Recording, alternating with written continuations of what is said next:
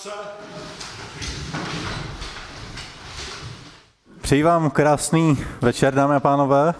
Vítám vás tady na další pátečnické přednášce a jsem rád, že jsme se tady sešli poprvé v novém roce, čímž vám samozřejmě chci popřát také všechno nejlepší do nového roku. A v tomto semestru budeme tady bývat pravidelně tady v této posluchárně, to je v B3, e, tady v přízemí na Přírodovědecké fakultě Univerzity Karlovy. Vy, kteří se nás díváte na streamu, tak e, budeme rádi, když se nás taky přijdete někdy podívat naživo, pokud můžete. A nebudete se spolehat jenom na, na online stream. A Samozřejmě uh, také vy, kteří se díváte uh, na nás online, tak můžete uh, už v průběhu přednášky pokládat otázky, které potom předložíme panu přednášejícímu. Já jsem velmi rád, že tady dneska mezi námi může přivítat Dušana Majera, mého kolegu z redakce Cosmonautics, vlastně mého šéf-redaktora. A dneska se tady scházíme už po osmé, byť tady dvakrát to bylo online, takže vlastně naživo se tady scházíme po šesté, ale celkově se jedná už o osmou Dušanovou přednášku tady na našem cyklu. A dneska doufejme založíme novou tradici, protože jsme se domluvili, že uh, si budeme povídat o roku 2022 v kosmologice, s tím, že to ale plánujeme dělat každý rok, že by vždycky někdy na začátku roku byla přednáška, která by shrnovala uplynulý rok v kosmonautice. Vlastně jsme se inspirovali z jiných akcí, ale protože nemůžeme dělat uh, čtvrtletní přednášky od jednoho přednášejícího, jako v případě hvězdárny a planetária v Brně, tak jsme se domluvili, že ta naše frekvence bude uh, jednoletá. Takže já ti moc děkuji, Dušane, že jsi vážil cestu až z hlavy, že jsi tady dneska s námi a dovol, abych ti předal slovo. Já děkuji za pozvání a samozřejmě děkuji i vám všem, kteří jste dorazili. Doufám, že se vám bude přednáška líbit. Doufám, že nebude moc dlouhá, že vás nebude moc nudit. Pojďme tedy na pět nejvýznamnějších událostí, alespoň tedy z mého pohledu, co se stalo v kosmonautice v roce 2022. Začneme tím, že opět proběhl na celém světě rekordní počet eh, startů, které mířily na oběžnou dráhu a zároveň se podařil i rekordní počet úspěšných startů. Podíváme se na historický okamžik, kdy se lidstvu podařilo poprvé aktivně změnit oběžnou dráhu nějakého přirozeného kosmického tělesa, tedy zásah sondy DART do planetky Dimorphos. Budeme si povídat ale i o poměrně smutném tématu, které cloumá prakticky celým světem, a to je ruská invaze na Ukrajinu. My se pochopitelně zaměříme na její dopady na kosmonautiku, protože ani kosmonautika nezůstala stranou, no ale ta zbývající dvě témata už budou mnohem veselější. Podíváme se na uvedení do provozu největší kosmické observatoře v dějinách, tedy teleskopu Jamesa Webba, a celé to zakončíme začátkem programu Artemis, který má za úkol vrátit člověka na měsíc. Budeme si tedy povídat o bezpilotní testovací misi Artemis 1. Začneme sérií několika grafů. A uznávám, že na tom projektoru to asi nebude moc dobře vidět, ale rozhodně můžete vidět, že ten trend v posledních letech je jednoznačně vzestupný. Na celém světě v roce 2022 proběhlo 186 pokusů o dosažení oběžné dráhy. Eh, jeden byl částečně neúspěšný, oběžné dráhy sice bylo dosaženo, ale mm, nebyla, eh, nebyla úplně tak požadovaná, jak měla být. Eh, raketa dosáhla velmi nízké oběžné dráhy a družice zanikly prakticky týden po startu, ale i tak se to započítává stejně jako všechny ostatní starty, které jsou třeba neúspěšné. Data v obou dvou grafech jsou stejná, pouze v tom horním jsou neúspěchy, částečné úspěchy a plné úspěchy oddělené od sebe, zatímco v tom spodním vidíte, že jsou všechny složeny do jednoho sloupce. Chtěl jsem ještě podotknout, že už rok 2021 byl rekordní. Eh, tehdy proběhlo na celém světě 136 pokusů o dosažení oběžné dráhy. Eh, v tuhle chvíli jsme dokázali tohle číslo ještě posunout a myslím si, že když to bude tímhle tempem pokračovat, tak v příštím roce se klidně můžeme dostat na dvě stovky. Ale uvidíme, vlastně už v letošním roce. Pokud bychom se podívali trošičku na ty statistiky podrobněji, tak zjistíme, že nejaktivnější z hlediska startů byly Spojené státy americké a dá se říct, že si po několika letech vzali zpátky titul nejaktivnějšího vypouštěče orbitálních raket. V roce 2018 se totiž Čína stala nejaktivnější, nejaktivnějším státem z hlediska počtu vypuštěných raket na oběžnou dráhu. A tenhle ten primát obhájila i v dalších letech 2019, 2020 a 2021. Ovšem v roce 2022 si už právě tenhle ten primát vzali zpátky Spojené státy. Na druhém místě, jak můžete vidět, je Čína, máme tam na třetím místě Rusko. Sluší se ještě poznamenat, že eh, ohledně ruských a evropských raket byla v předchozích letech trošičku nejasnost ohledně toho, jak započítávat starty ruských raket Soyuz, pokud startují z Jižní Ameriky, tedy z evropského kosmodromu v Kuru. Já osobně tyhle ty Sojuzy započítávám mezi evropské starty. Proto vám to třeba může při porovnání s jinými zdroji vycházet jinak. V roce 2022 vidíte, že proběhly další starty z dalších států, ale to už jsou pouze jednotky. Pokud bychom se podívali na jednotlivé rodiny nosných raket, tak můžete vidět, že nejaktivnější rodinou nosných raket byla rodina Falcon od eh, firmy SpaceX a předstihla dokonce i rodinu raket Dlouhý pochod, což jsou eh, rakety čínské, které provozuje, řekněme, čínská kosmická státní agentura. Dále pak eh, raketa, raketa R7, což jsou Sojuzy, Elektron, Atlas, Kuaichou, čínská, SLV jsou indické a tak dále. Nebudeme se zabývat úplně všemi. Eh, dovolím si pouze poznamenat, že v tom prvním grafu můžete vidět eh, raketu Astra, nebo respektive raketu Rocket 3 od firmy Astra, která letěla třikrát a z toho dvakrát havarovala. To znamená, pokud bychom hledali nějaký nejsmolnější nosič, tak by to byla právě asi tahle raketa Ostatní rakety, některé tam mají dokonce 100% neúspěšnost, ale to byly nosiče, které letěly pouze jednou jedinkrát. No a ještě se můžeme porovnat, jak to bylo v roce 2022 z hlediska uh, využívání různých kosmodromů a cílových oběžných drah, na které byl náklad dopraven.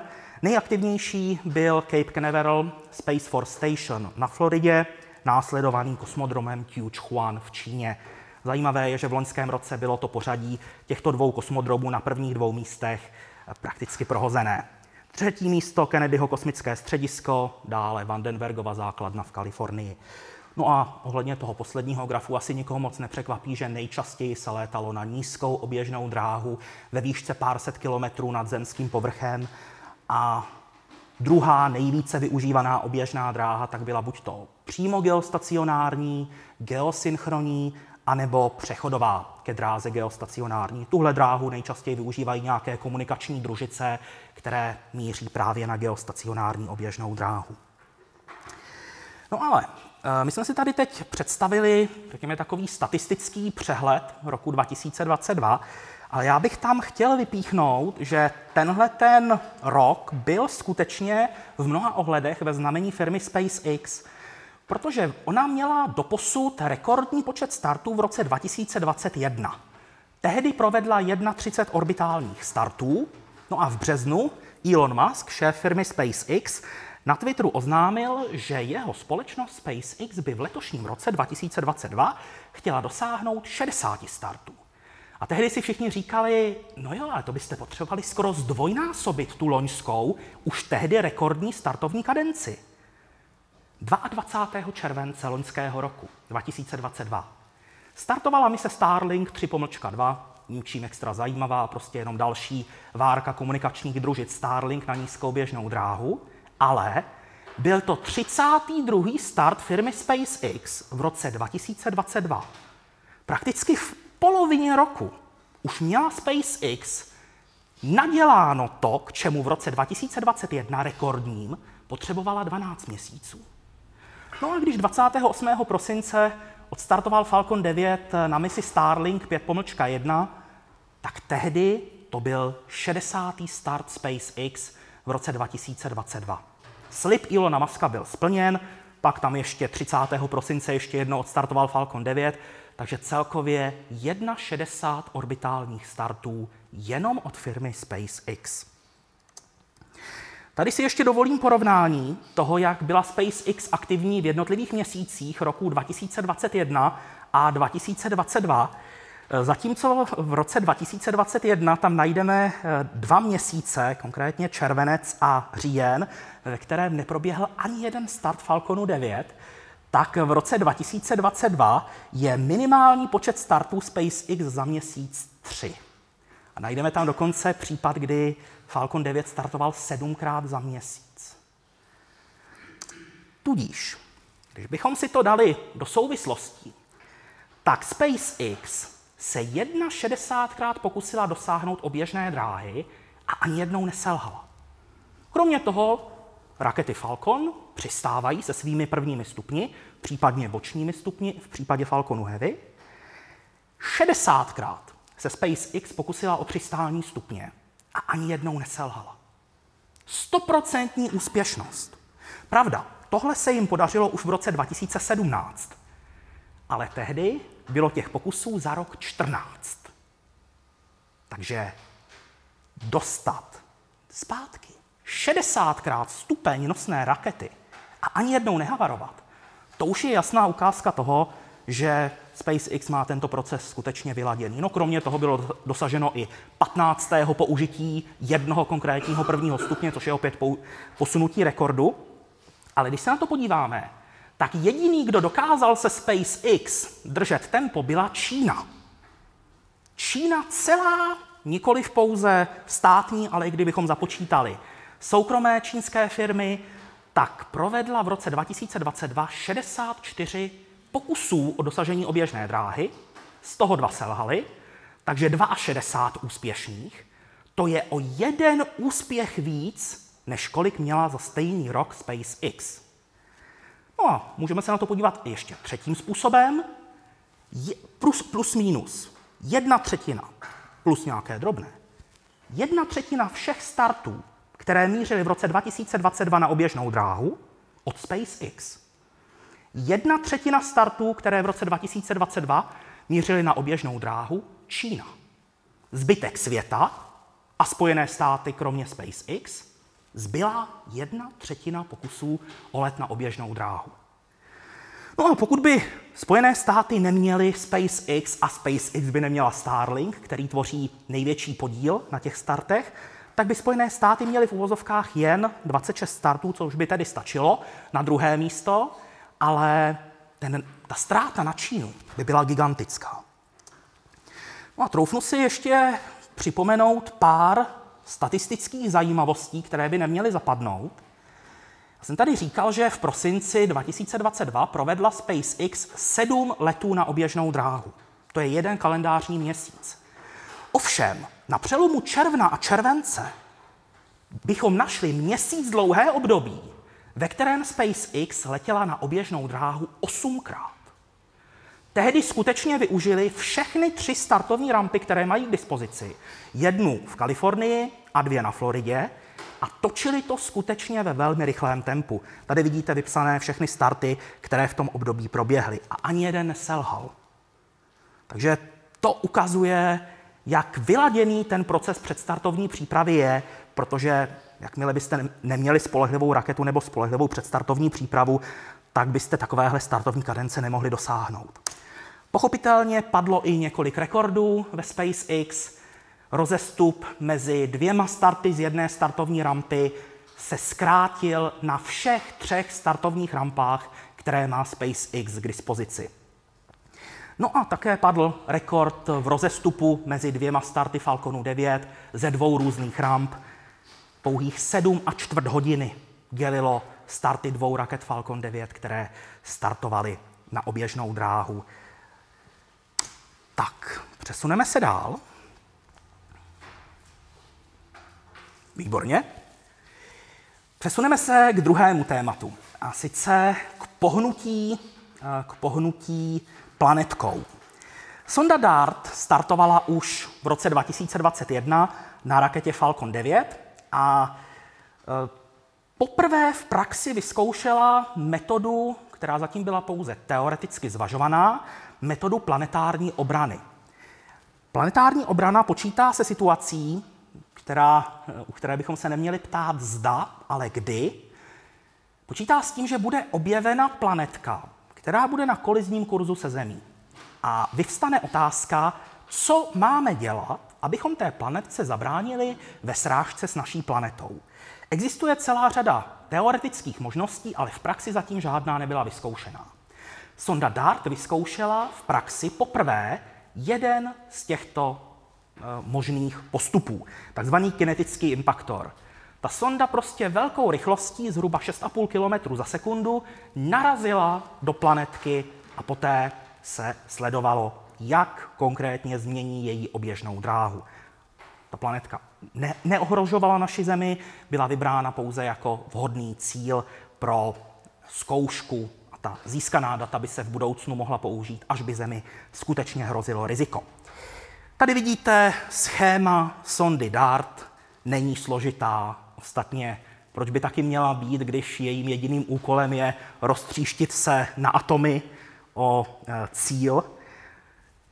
Svinovací fotovoltaické panely, ty možná znáte z Mezinárodní kosmické stanice, na kterou se teď nově instalují, aby rozšířili e, možnosti generování elektrické energie na ISS. No a prakticky jediný vědecký přístroj na palubě byla kamera Draco, která byla nezbytná k tomu, aby vůbec sonda DART mohla splnit svůj úkol. O tom si řekneme více za chviličku. Jako cíl byla vybrána planetka Didymos, která obíhá kolem Slunce a přibližuje se vhodně k Zemi, takže ta sonda nemusela, eh, nemusela letět moc daleko. Eh, tahle planetka, jak už jsem říkal, nepředstavuje pro naši planetu riziko, ale necílilo se přímo na ní. I z toho důvodu, aby to šlo snadno změřit, tak cílem byl malý měsíček, dříve nazývaný Didymoon, později přejmenován na Dimorphos, který obíhá právě kolem toho hlavního tělesa. Ty důvody, eh, proč byl zvolen právě měsíček, eh, bylo jich několik. Jedním z nich bylo třeba to, že oběžná dráha toho měsíčku je zhruba 12 hodin. To znamená, že vy, i když ho zpomalíte, jeho oběžnou dobu, třeba jenom o pár desítek sekund, tak ve chvíli, kdyby vám obíhal kolem slunce, tak byste potřebovali mnohem delší dobu, než byste to změřili. Kdežto na tom 12-hodinovém oběhu se vám ty rozdíly velice rychle nasčítají. Kromě toho další významno, dalším významným důvodem, proč se cílilo na měsíček, tak bylo to, že jste v podstatě měli jistotu, že vám nic, že ti nic nepokazíte. Kdybyste zasáhli planetku, změnili byste její oběžnou dráhu kolem Slunce, teoreticky by za x desítek let mohl někdo říct, no vidíte, a teď nám hrozí srážka s tímhletím tělesem. U měsíčku to nehrozí. On zůstává na oběžné dráze kolem toho mateřského tělesa a pouze se změní jeho oběžná dráha kolem něj. Tady máte ještě porovnání, o jak velkých rozměrech se bavíme. V jednom případě nad eh, římským kolosem, v druhém případě nad Brnem. Srovnání s Prahou jsem bohužel nenašel, takže doufám, že to nebude vadit. Já už jsem vám sliboval, že si řekneme trošičku více o kameře Draco, což byla jediná, jediný vědecký přístroj na téhleté, na téhleté sondě. Ona nebyla vyvinutá úplně od nuly. Inženýři při jejím vývoji měli z čeho vycházet a vsadili, troufám si říct, na to nejlepší, co bylo k dispozici. Pokud si vzpomínáte na legendární průlet sondy New Horizons kolem Pluta, tak ona, sonda New Horizons, měla několik kamer, přičemž ty nejpodrobnější fotky, v podstatě jakoby z objektivu, pořídila kamera Lory. No a právě od ní je kamera Draco odvozená. Tahle kamera byla pro úspěch mise DART klíčová. Bez ní by to prostě nevyšlo. Běžně to funguje tak, dobrý večer, běžně to funguje tak, že když má sonda třeba provést nějaký manévr pro změnu oběžné dráhy, tak pozemní středisko dlouze vypočítává, na jaké oběžné dráze se nachází, na jaké dráze má být, jaká změna je k tomu potřebná, ve kterou chvíli se má provést jaký zážeh, kterými motory, pak se ty pokyny pošlou sondě a ona to poslušně vykoná. No jo, jenomže v tomhle případě jste se blížili k cíli rychlostí 6,5 km za sekundu a kamera Draco, i když byla velmi výkonná, tak ten cíl spatřila jako jeden malý obrazový bod pouhých několik desítek minut před kolizí. A ve chvíli, kdy vám vzniká spoždění zhruba 30 sekund, tak skutečně není možné, aby někdo v řídícím středisku seděl s joystickem a naváděl tu sondu na základě obraz, obrázku, kterému přichází. Proto inženýři vsadili na autonomní řízení sondy. Kamera Draco v pravidelných intervalech pořizovala fotografie, na kterých byla nejprve tma. Čtyři hodiny před kolizí dalo řídící středisko ruce pryč a od té chvíle všechno řídila sonda sama. Nejprve viděla tmu, ale po chvíli se tam objevil malý bod, který se postupně zvětšoval. To bylo původně to hlavní těleso, malý dimorfos v té chvíli vůbec vidět nebyl, ten se objevil až za několik minut. Sonda měla za úkol pomocí algoritmu ten bod objevit, zaměřit se na něj a dělat manévry tak, aby neustále mířila na něj. Počítač pořád vyhodnocoval, jestli je ten cíl tam, kde má být, a pokud nebyl, sonda provedla drobnou korekci své dráhy, aby se udržovala na správném kurzu. Ve chvíli, kdy se za tou větší tečkou objevila druhá malá, tak algoritmy musely se přepnout, aby se nezaměřovala sonda už na ten hlavní objekt, ale na ten malý měsíček. To se podařilo a sonda, kromě toho, že ty fotografie vyhodnocovala sama pro své manévrování, tak je odesílala na Zemi, kde byly zálohovaně přijímány. Ona nic neukládala do své paměti. Všechny fotky, které pořídila, šly okamžitě na Zemi, kde k nám dorazily pochopitelně s drobným spožděním, ale takhle, jo, tak ještě za chviličku bude, e, za chviličku bude video.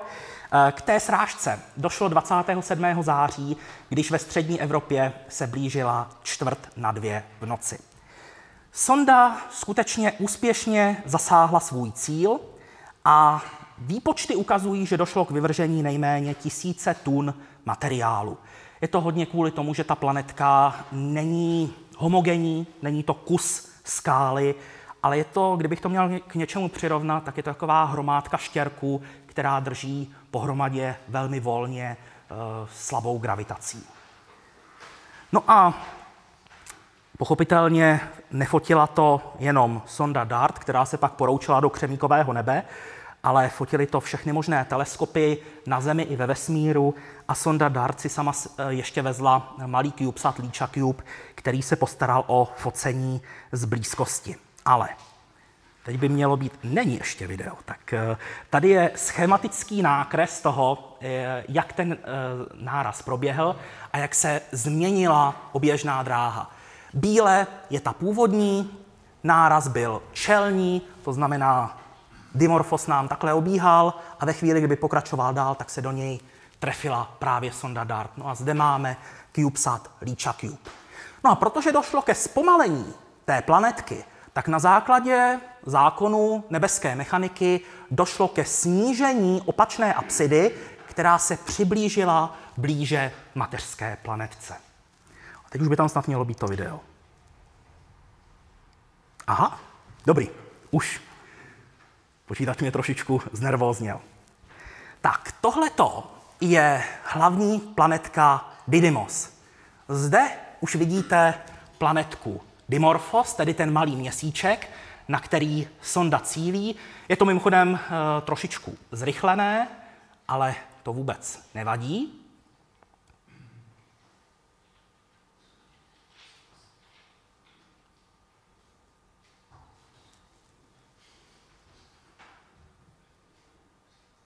Tak. A poslední snímek už nám nedoputoval. Nestihl se odeslat. Prostě byl odeslaný z části, jenom ten horní proužek se poslal a zbytek už sonda prostě nestihla. Tohle je poslední kompletní snímek, který k nám dorazil. Můžeme říct, že je to předposlední snímek, ale ten poslední, jak jsme viděli, nebyl kompletní. a protože se sonda pohybovala vůči planetce rychlostí nějakých 6,6 km za sekundu, tak můžeme říct, že tahle fotka byla pořízená ve vzdálenosti plus minus okolo 13 km. A protože, jak už jsem říkal, to přirovnání ke kameře LORI ze sondy New Horizons je to v podstatě teleobjektiv, velice úzké zorné pole, a proto i na takovouhle obrovskou vzdálenost, těch 13 kilometrů, má celý snímek na šířku jenom nějakých 31 metrů. A díky tomu mohli vědci poprvé zblízka spatřit, jak to na povrchu této planetky vypadá.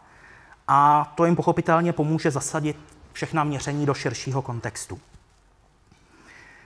Jak jsem říkal, snímkování prováděli různé observatoře, tohle je třeba metrový teleskop z Jihoafrické republiky. Na srážku se podíval také eh, teleskop Jamesa Webba, tam to teda zas tak působivé nebylo, ale vědci pak museli chviličku počkat, než se všechen ten vyvržený materiál dostane dál od planetky, aby nenarušoval eh, analýzu, eh, analýzu světlosti, ze které se pak vyhodnocuje průběh řekněme, té oběžné dráhy a oběžné doby. No a tohle už jsou fotky z toho avizovaného italského CubeSatu Licha Cube, který se oddělil, pokud si pamatuju dobře, 14 dní před kolizí od sondy DART a proletěl dvě až tři minuty po kolizi právě kolem této planetky, aby mohl nafotit, jak k té kolizi došlo, jak vypadal vyvržený materiál, protože to všechno jsou znalosti, které vědcům pomohou zasadit ty informace do širšího kontextu. Podle toho původního plánu, když se sonda DART připravovala, tak v té době, kdy ke kolizi došlo, tak už u téhle planetky měla čekat evropská sonda, která by předtím všechno nafotila ve vysokém rozlišení, pak by vyfotila, jak dochází ke kolizi a mohla by vyfotit i ty následky. Nakonec teda Evropa tu svou misi odpískala, sonda DART se realizovala tedy sama a Líča Cube trošičku suplovala tu úlohu evropské sondy. Ale jak si řekneme za chviličku, úplně ztracené to není a my se ještě k téhleté planetce vrátíme. Ale zbývá nám ještě uh, tyhle ty fotky si ukázat, ano. Ale musíme si taky říct, jak to dopadlo. Uh, jestli se podařilo změnit oběžnou dráhu planetky nebo ne. Před nárazem nebylo vůbec jisté, jak to dopadne. I kdyby se sonda DART trefila, tak výpočetní modely byly extrémně široce rozkročené. Některé říkali, že minimální měřitelná změna oběžné doby je 71 sekund. Průměrně se říkalo, že by ta oběžná doba se mohla změnit o 10 minut. Ty nejextrémnější odhady na druhé straně říkali, že by tím nárazem mohla být odmrštěna polovina hmoty té zasažené planetky. A teď jste si mohli vybrat jakoukoliv možnost mezi těmito extrémy. Proč je tam takový rozdíl? Je to proto, že my neznáme to cílové těleso. My jsme neměli k dispozici jeho blízké fotografie. Byli jsme odkázáni pouze na fotografie z pozemských teleskopů, radioteleskopů, dálkových měření a tam to byla jenom malá tečka na obloze. A samozřejmě je úplný rozdíl jestli trefíte tou rychlostí stejnou, se stejnou sondou, stejnou rychlostí, jestli trefíte homogenní skálu, kus šutru, anebo jestli to stejně naperete do kupky štěrku. Proto bylo to rozpětí možností tak široké. No a realita se ukázala ještě lepší, než co předpovídali průměrně výpočetní modely, 32 minut to je výsledná hodnota, o kterou byla zkrácená oběžná doba téhleté planetky kolem hlavního tělesa. No a mimochodem na vyhodnocování těch světelných křivek se podíleli i experti z České republiky. To je taky potřeba, potřeba zdůraznit. Eh, ten eh, rozdíl oproti těm průměrným odhadům počítačových modelů eh, vychází z toho, že tady nešlo o jednoduchou kolizi sonda o určité hmotnosti, o určité rychlosti narazí do planetky o určité hmotnosti, která má určitou rychlost. Sečteme to, odečteme, vynásobíme, máme to. Ne. Ten vyvržený materiál zafungoval jako reaktivní pohon. Podobně jako třeba ve starém Řecku, když byly skoky do dálky, skokani měli závaží v ruce, která máchnutím za sebe odhazovali, aby skákali dál. Podobně to fungovalo tady. Ten vyvržený materiál způsobil, že změna té oběžné doby byla téměř trojnásobná oproti tomu, co by zvládla sonda samotná, kdyby k tomu vyvržení materiálu nedošlo. No a jak už jsem avizoval, tak Evropa úplně na tuhle planetku nezapomněla a připravuje sondu Hera, která by, pokud se nic nepokazí, měla startovat v roce 2024. Mimochodem na jejím vývoji se podílí i experti z České republiky. Eh, firma OHB Czech Space pracuje na eh, návrhu struktury, té základní páteře, nosné konstrukce téhle sondy. No a protože sonda DART měla za úkol narazit do planetky rychlostí 6,5 km za sekundu, tak od Země k nárazu jí to netrvalo ani rok, tak Hera si tohle dovolit nemůže. A musí zvolit mnohem pozvolnější dráhu, protože chce přiletět mnohem pomaleji, takže tam přiletí v roce 2026. Ale ona nebude sama. Poveze sebou dva malé pomocníky, dva CubeSaty, Milány a Juventas, které pomohou nazbírat dodatečné údaje o těch dvou planetkách, jako o tom mateřském tělese, tak i o té planetce, která obíhá kolem něj. A každý z nich je něčím zajímavý, ačkoliv jsou to jenom takové malé krabice, které svými rozměry připomínají třeba krabice na boty, tak eh, díky té miniaturizaci, která v posledních letech potkává elektroniku, tak je možné i do takovéhle, takovéhle malé sondy dostat velmi zajímavé přístroje. Eh, Juventus ponese radar, díky kterému bude možné proskoumat vnitřní stavbu té planetky, nahlédnout pod povrch, zjistit, jak eh, je ta vnitřní struktura, jak vypadá, jestli se třeba liší podmínky uprostřed od podmínek, které se nachází blíže k povrchu. A tyhle ty informace společně s tím, co zjistí CubeSat Milány, vybavený spektrometrem pro určení chemického složení látek na povrchu, tak tyhle ty informace nám pomohou mnohem lépe porozumět tomu, k čemu došlo, když do té planetky narazila sonda DART. My v tuhle chvíli víme, že k nárazu došlo při určité rychlosti, došlo ke změně oběžné doby, ale do čeho jsme se to vlastně trefili? Jakou má ta planetka strukturu? To zatím nevíme. A právě díky sondě Hera získáme spoustu dodatečných informací a díky nim budeme schopni mnohem lépe v budoucnu reagovat na případné hrozby, které k nám jednou přijdou. Takže taková malá odveta za dinosaury se povedla, ale nesmíme usnout na Vavřínech, protože není otázka kdy, respektive není otázka zda jednou dojde k podobné situaci, že by země byla ohrožená, ale jde o to, kdy k tomu dojde. Zatím v nejbližších desítkách let nevíme o žádné hrozbě, která by mohla Zemi ohrozit, ale je potřeba být na pozoru. Změna, pokud ji provedeme dostatečně brzo, tak stačí, aby byla malá. Během těch několika let se ta drobná změna nasčítá a planetka díky tomu naši planetu může minout. My ji nepotřebujeme rozstřelit na tisíce a miliony drobných kousků. Stačí tak drobně pošoupnout. Tak, pojďme dál. Eh, ruská invaze na Ukrajinu, ke které došlo 24. února roku 2022, pochopitelně ovlivnila eh, spoustu oborů lidských činností a nějakou dobu byla kosmonautika úplně na druhé koleji, což je pochopitelné, ale přece jenom i na kosmonautice se tato událost promítla. Nemůžu říct, že by se promítla dobře. Konkrétně prvním krokem, ke kterému došlo, tak eh, bylo z ruské strany. Pracovníci, kteří na kosmodromu v Kuru ve francouzské Gvajáně zajišťovali starty raket Soyuz pro Evropskou kosmickou agenturu, respektive firmu Arianespace, tak byli staženi a přemístěni do Ruska. Mm, startovní rampa pro rakety Soyuz v Kuru je v současné době zakonzervována a není vůbec jisté, zda, případně kdy, bude provoz těchto raket obnoven.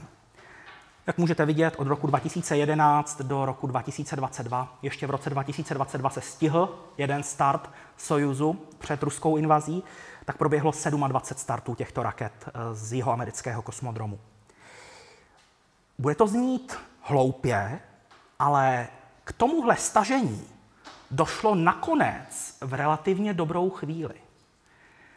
Pokud by k tomu došlo třeba před nějakými pěti, deseti lety, byla by to pro Evropu mnohem větší rána. Sojus plnil v evropské kosmonautice důležitou roli. Zaplňoval mezeru mezi lehkou raketou Vega a těžkou raketou Ariane 5. Prostě některé náklady byly na Vegu moc těžké, ale zároveň byly moc lehké na Ariane 5. Potřebovali jste nějaký středně silný nosič. Vidíte sami 27 startů během deseti let. Ta poptávka tam byla. V tuhle chvíli už to ale Evropu tolik netrápí, že nemůže provozovat Sojuzy. Protože malá evropská raketa Vega nám zesílila. Odstartovala v loňském roce její vylepšená verze Vega C, která dopraví na oběžnou dráhu o 700 kg víc než původní Vega. To znamená, že některé náklady, které předtím byly pro klasickou Vegu moc, lehké, moc těžké pardon, a museli letět na Sojuzu, tak teď mohou letět na raketě Vega C. No a z druhé strany tam máme Ariane 5, která nám v roce 2023 odejde do důchodu, rozloučí se mimochodem ve velkém stylu, vynese evropskou sondu JUICE pro výzkum Jupiteru, ale místo ní přijde, doufejme, v roce 2023 Ariane 6. Ta bude k dispozici ve dvou variantách. Lehčí se dvěma pomocnými motory a těžší se čtyřmi. A právě ta lehčí varianta Ariane 62 bude částečně zasahovat svou nosností do kategorie, kterou předtím obsluhoval Sojus. Díky tomu se ten problém, který by tady byl třeba před pěti lety, absencí rakety, raket Sojus pro Evropu, velmi stenčil. Lehčí náklady pro Sojus ty může pokrýt Vega C, těžší náklady pro Sojus ty může pokrýt Ariane 62. Další, k čemu došlo, tak byla velmi rychlá reakce uh, firmy SpaceX. 26. února byl Elon Musk na Twitteru vyzván, jestli by nedokázal urychlit nasazení systému Starlink na Ukrajině. Pochopitelně komunikace hrála vždycky ve válečnictví velký význam a pokud chcete uh, být úspěšní, tak velmi snadno zaútočíte na komunikační infrastrukturu protivníka. Ale ve chvíli, kdy protivník začne používat systém Starlink z oběžné dráhy, tak s tím prakticky nemůžete moc dělat. Teda Rusové se s tím snažili něco dělat, ale uh, SpaceX zareagovala velice pružně, změnila dva řádky kódu a dokonce i uh, analýza Pentagonu následná řekla, že experti byli velmi překvapeni tím, jak pružně dokázala SpaceX zareagovat. Ale abych se vrátil k tomu, k čemu došlo na uh, konci února. Během pár hodin Elon Musk odpověděl, že Starlink byl nad Ukrajinou aktivován. Ty družice pochopitelně přelétávají prakticky nad celým světem. Není to tak, že by se nějak měnily jejich oběžné dráhy, aby přelétávaly nad dalším státem, to by ani nešlo. Ale vždycky, když chce SpaceX rozšířit své působení systému Starlink do nového státu, tak vstoupí do jednání. V České republice to bylo s Českým telekomunikačním úřadem, aby dostali povolení, že mohou tuto službu používat. Jde tedy pouze o papírové povolení, že nad tímto prostorem může být provoz družit Starlink aktivní. No a také SpaceX poslala na Ukrajinu dodávku terminálů. Zde vidíte fotografii, jak to vypadalo, když dorazili první. No a prakticky 40 minut poté, co se objevila fotka první várky, tak už začaly testy. Dva dny a kousek od podání žádosti přes aktivaci systému nad Ukrajinou, dodávku několika stovek terminálů, pak dorazili ještě další, do začátku testování. Výhodou systému Starlink je, že vy k němu potřebujete velice málo.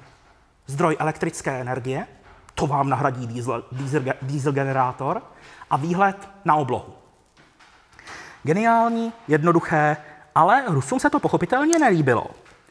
A proto, když 5. března měla jejich raketa Soyuz z kosmodromu Baikonur vynést další várku družic OneWeb, konkurence Starlinku v podstatě, tak najednou se Rusové začali cukat. Začali říkat, my nechceme riskovat, že se s OneWebem stane to samé, co se stalo se Starlinkem, a protože, a ačkoliv ta raketa už byla zaplacená a stála na startovní rampě, tak Rusové si začali dávat podmínky. Chceme, aby se firma OneWeb zaručila, že systém OneWeb nebude nikdy použit pro armádní účely. To firma OneWeb odmítla a Rusové přidali další podmínku. Chceme, aby z projektu OneWeb odstoupila Velká Británie. To firma OneWeb zase odmítla, protože mimochodem britská vláda jim před dvěma roky vytáhla trn z paty, protože firma zkrachovala a e, britská vláda je v podstatě zachránila. Takže firma odmítla splnit oba dva požadavky. Rusové řekli dobře, přelepili všechny vlajky na raketě, kromě indické, taková malá perlička, použili k tomu americkou lepící pásku firmy 3M. Raketa byla sklopená, odvezená ze startovní rampy do montážní haly, družice byly odstraněny, uloženy do skladu, sklad byl zamčen. Doteď nevíme, jak to s těmi družicemi nakonec teda bylo, jestli je firma dostala nebo ne, ale protože jich vyrábí poměrně velké množství, tak by jim to ani moc vadit nemuselo. No a raketa e, nakonec měla být použita pro nějakou e, družici blíže nespecifikovanou ruskou, možná armádní průzkumnou, těžko říct. Každopádně, pár dní poté firma OneWeb oznámila, že končí s využíváním ruských raket Soyuz. Ačkoliv předtím měli velké plány na používání tohoto systému, měli objednané desítky startů, několik jich už bylo realizováno, pokud se nepletu, 14 už jich proběhlo, přesto tohle byla kapka, kterou firma odmítla polknout a začala hledat náhradní řešení. Připomínám, 5. března se mělo startovat. Nestartovalo se. Firma v průběhu března oznámila, že přestane používat Sojuzy a hledá náhradní řešení. 22. Eh, pardon, nikoli v října, ale listopadu, tam mám chybu, došlo ke startu indické rakety LVM-3, která vynesla na oběžnou dráhu 36 družic OneWeb. Tedy systém měl zajištěno, že bude pokračovat jeho doplňování dalších družic. No a 8. prosince ještě odstartoval Falcon 9, který vynesl rovnou 40 družic OneWeb, ačkoliv je to konkurence Starlinku, tak obě firmy se zachovaly naprosto korektně a firma OneWeb si dokonce pochvalovala přístup SpaceX, jak rychle dokázali vyvinout družicový adaptér, na který se dalo uložit 40 družic, což je mimochodem o čtyři více, než kolik tehdy vynášeli, eh, vynášeli Sojuzy případně indická raketa LVM-3. Mimochodem, pokud vám název LVM-3 nic neříká, tak Indové se rozhodli, že raketu GSLV MK3 přejmenují na LVM-3. To jenom. Protože už to nesplňovalo ten název. GSLV eh, byla určena k letům na, geosta- eh, na dráhu přechodovou ke dráze geostacionární, to bylo to G, a tady najednou ta raketa letěla na nízkou běžnou dráhu tak proto, aby se vyhnuli tomuhle, eh, tomuhle rozdílu, tak raketu přejmenovali na LVM-3. No a kromě toho OneWeb má domluvené i další starty, dva na, Space, eh, dva na Falconech 9 od SpaceX. Myslím si, že příští týden by nás, myslím, že 12. by mohl čekat další start Falconu 9 s další várkou družic OneWeb, takže i bez ruských raket se tahle firma obejde. Trošku komplikovanější situace je s výrobou eh, prvních stupňů raket Antares, které vynáší zásobovací lodě Cygnus k Mezinárodní kosmické stanici. Oni totiž ty první stupně vznikají na Ukrajině. V závod, ve výrobních závodech Južmaš a Južnoje v Dnipru, což eh, byl strategický cíl od začátku války, protože pochopitelně nedělají tam jenom, eh, řekněme, komerční nosiče, ale podílí se i na armádní produkci. Tudíž to byl strategický cíl od začátku. V současné době ze celku logických důvodů nejsou k dispozici oficiální informace o tom, jak je ten výrobní závod poškozený. Takže můžeme pouze spekulovat. Jisté je, že ten výrobní řetězec bude velmi narušený. No a kromě toho se v těchto těch výrobních závodech vyrábí i raketový motor pro horní stupně lehkých evropských raket Vega. Jak je to ale s to, tou raketou Antares, tak ono je to ještě komplikovanější. Protože Rusové eh, v reakci na uvalené sankce oznámili, že přestanou s dodávkou svých raketových motorů do Spojených států. A ohledně tohle je mezi lidmi rozšířeno obrovské množství nepravd. Ať už záměrně nebo nezáměrně se šíří celé velké množství lží. Dočtete se na internetu v diskuzích, že američané nemají žádné vlastní motory, že létají pouze na těch ruských, což pochopitelně není pravda. Jediné dvě americké orbitální rakety, které používají ruské raketové motory, jsou Atlas 5 s raketovými motory RD-180 a Antares se dvěma motory RD-181. Přičemž Atlas 5 už pomalu míří do výslužby. Všechny raketové motory, které jsou potřeba pro zbývající starty raket Atlas 5, tak už jsou ve Spojených státech. Jediný problém by mohl nastat třeba při nějaké opravě nebo schánění náhradních dílů, ale z Atlasy dolétají a poté budou plynule nahrazeny novou raketou Vulcan od společnosti United Launch Alliance, která má plně americké technologie. No a druhá raketa, to je ten už zmíněný nešťastný Antares, jehož první stupně se vyrábí na Ukrajině, tak eh, výhodou je, že tahle raketa není moc často využívaná. Ona totiž vynáší pouze kosmické lodě Cygnus pro zásobování Mezinárodní kosmické stanice. To znamená, není potřeba, aby létala tak často. Ty zásoby motorů a prvních stupňů, které byly ještě před válkou k dispozici, tak eh, postačí na tři starty. No a poté se firma Northrop Grumman, která tyto nosiče provozuje, rozhodla, že udělá za prvními stupni i za ruskými raketovými motory tlustou čáru a postaví z brusu nový, plně americký první stupeň pro rakety Antares, který bude využívat raketových motorů Miranda od společnosti Firefly Aerospace. Takže e, za pár let e, ruské raketové motory prakticky na amerických raketách nenajdete.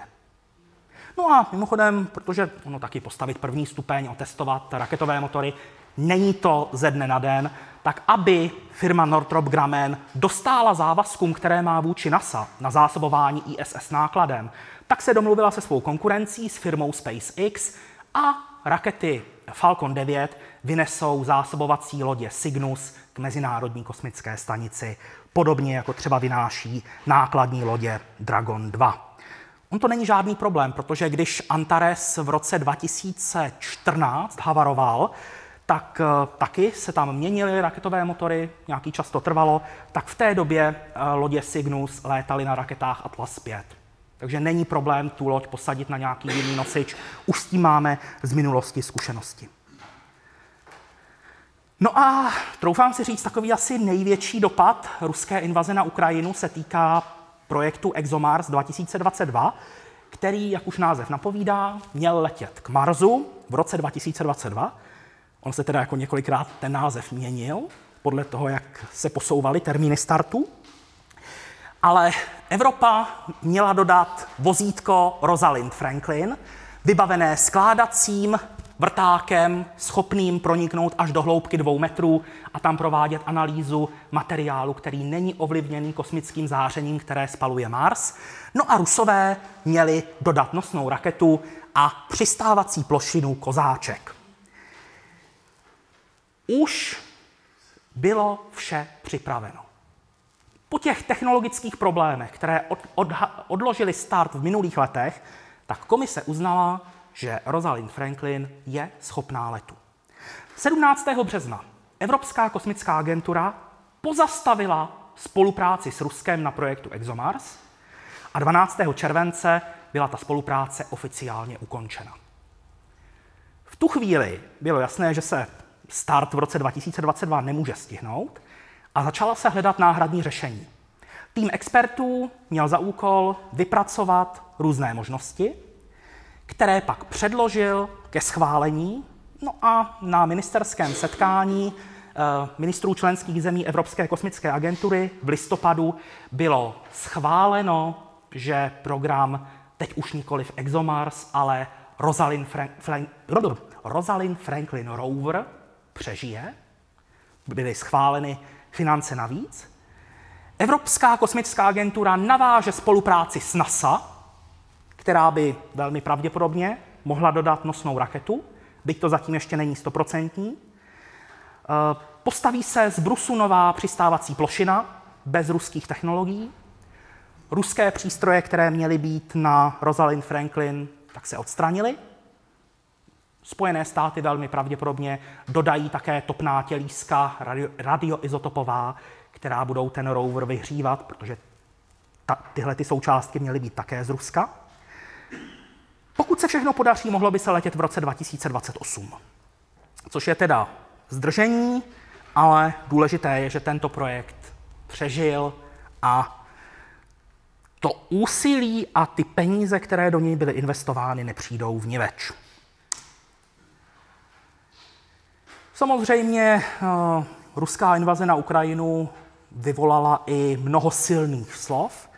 Teď narážím na tehdejšího šéfa agentury Roskosmos Dmitrie Rogozina, který, pokud jste o něm nikdy neslyšeli a chtěli byste stručně ho k něčemu přirovnat, tak si představte hradního mluvčího ovčáčka, který má na Twitteru také velmi silná slova a znásobte to ještě.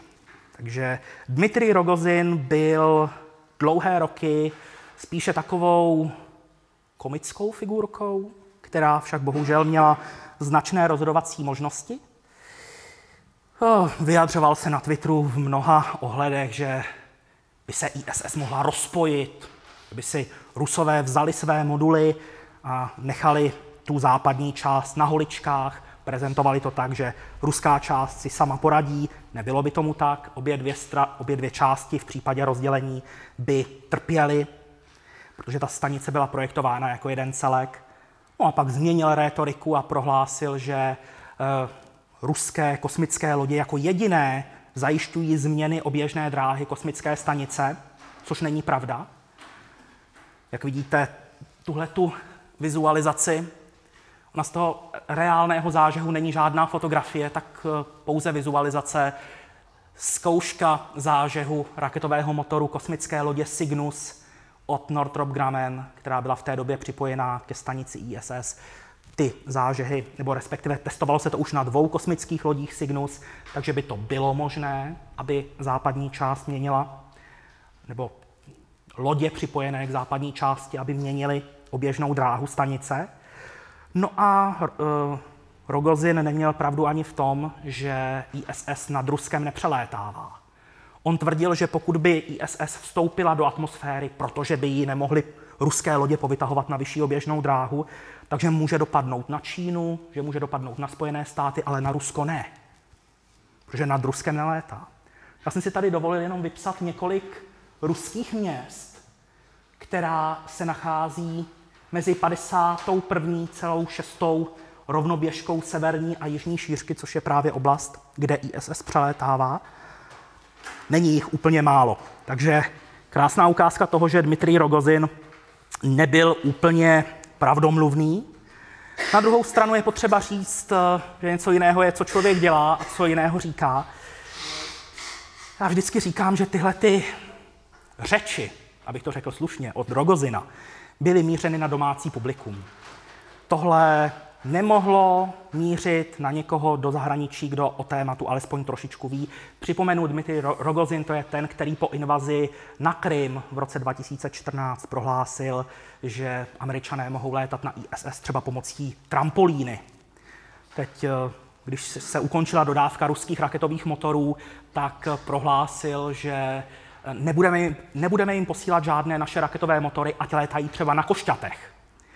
No a samozřejmě SpaceX to vzala po svém a když eh, startoval jeden z Falconů 9, tak eh, letový ředitel eh, prohlásil, že to koště letí opravdu dobře.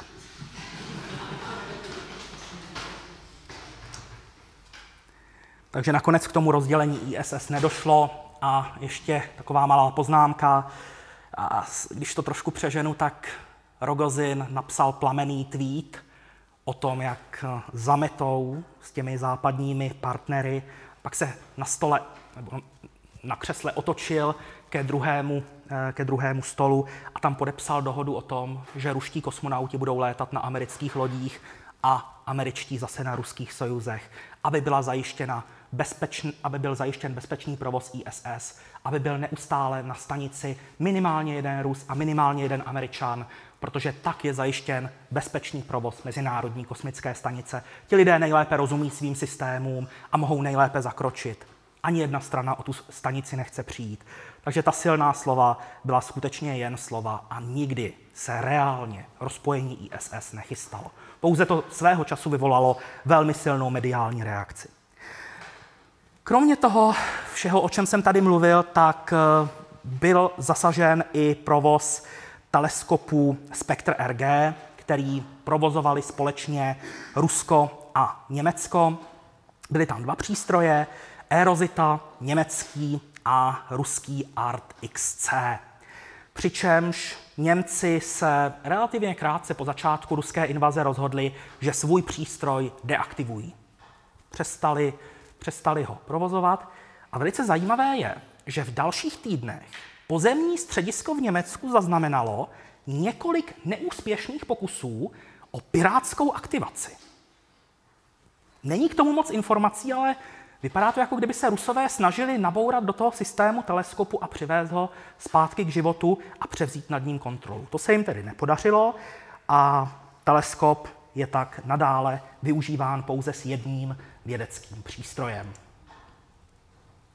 No a teď se přesuneme k jinému teleskopu, který je mnohem větší a dělá nám opravdu velkou radost. Teleskop Jamesa Webba. Největší kosmická observatoř v dějinách. A také nejdražší jednorázová kosmická mise. Když necháme stranou dlouhodobé projekty, program Apollo, Mezinárodní kosmická stanice, tak vezmeme si jeden náklad, který je vynesený při jednom jediném startu nenajdeme nic dražšího. Teleskop Jamesa Webba za ty roky vývoje, které se mimochodem protáhly značně oproti původnímu očekávání, všichni měli až moc růžové brýle, že to půjde jednoduše, a přitom vyvíjeli technologie, které tady vůbec nebyly, tak si vyžádali to, že ten projekt nakynul na zhruba 10 miliard amerických dolarů. Na projektu se podílí kromě agentury NASA také Evropská ESA, a kanadská CSA. Na palubě jsou čtyři naprosto špičkové vědecké přístroje, které jsou zaměřeny na infračervené záření. My si o tom řekneme více za chviličku, ale teď ještě drobné srovnání. Tak ne, to bude až na dalším slajdu, pardon.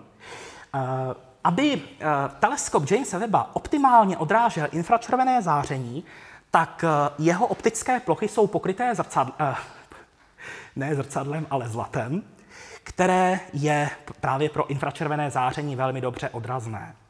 Konkrétně ta zrcadla mají odrazivost kolem 99%, což je opravdu úctyhodné. A ta velká sběrná plocha, připomínám průměr 6,5 metru, je naprosto nesrovnatelná s čímkoliv, co jsme tady doposud měli. No a aby, ta, aby ty jednotlivé segmenty byly lehké, tak se zvolilo berylium, které nakonec vyšlo jako nejlepší materiál ze všech možných, které se analyzovaly. Ono nejde jenom o to, aby to bylo lehké, ale musí to být i pevné, musí to optimálně fungovat při nízkých teplotách a hlavně se vám to při změnách teploty, když vám to chladne z té pokojové teploty téměř k absolutní nule, se vám to nesmí kroutit, nesmí to výrazně měnit své rozměry. No a taky to musí být dokonale hladké. Vidíte maximální hrubost 20 nanometrů, což skutečně vyžadovalo naprosto dokonalou eh, výrobní techniku. Jelikož vyrobit takhle velké zrcadlo by nebylo úplně jednoduché, neříkám, že by to nešlo, ale bylo by to velmi náročné, a dostat 6,5 metrové zrcadlo do kosmického prostoru, to už je skoro nemožné. Proto bylo rozhodnuto o tom, že primární zrcadlo teleskopu Jamesa Webba bude složeno z jednotlivých segmentů šestiúhelníkového tvaru. Tak a tady je konečně to porovnání, o kterém jsem hovořil. Srovnání primárního zrcadla Hubbleova teleskopu, průměr 2,40 m a průměr primárního zrcadla teleskopu Jamesa Webba 6,5 metrů v průměru. Takže výrazně větší sběrná plocha, zachytí mnohem více kosmického záření, hlavně z těch slabých objektů, které jsou extrémně daleko. Čím větší sběrnou plochu máme, tím více těch slabých fotonů stihneme nalapat. Eh, proč má Webův teleskop pozorovat právě v infračerveném záření? Těch důvodů je hned několik. Prvním je třeba to, že když chceme pozorovat nějaké galaxie, jako vidíme třeba zde, tak když se podíváme ve viditelné části spektra, ať už našima běžnýma očima, nebo třeba Hubbleovým teleskopem, tak nikdy neuvidíme dovnitř, neuvidíme do struktury. Protože je tam spousta prachu a plynu a viditelné světlo se o ně prostě zastaví a nepronikne dál. Pro infračervené záření je ale ten prach prostupný. To znamená, my jsme díky tomu schopní vidět vnitřní strukturu těchto objektů. Ale on to není zdaleka ten hlavní důvod. Pro ten se musíme podívat mnohem, mnohem dál. Když totiž Hubbleův teleskop pořídil takzvané ultrahluboké pole, podíval se do oblasti oblohy, kde prakticky se odhadovalo, že nic nebude, pořídil dlouhou expozici a objevil tam tisíce a tisíce drobných, extrémně vzdálených galaxií.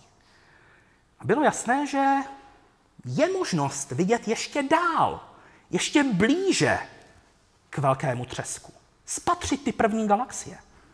Jenomže na to už nám viditelné záření nestačí, ve kterém pracuje Hubble především.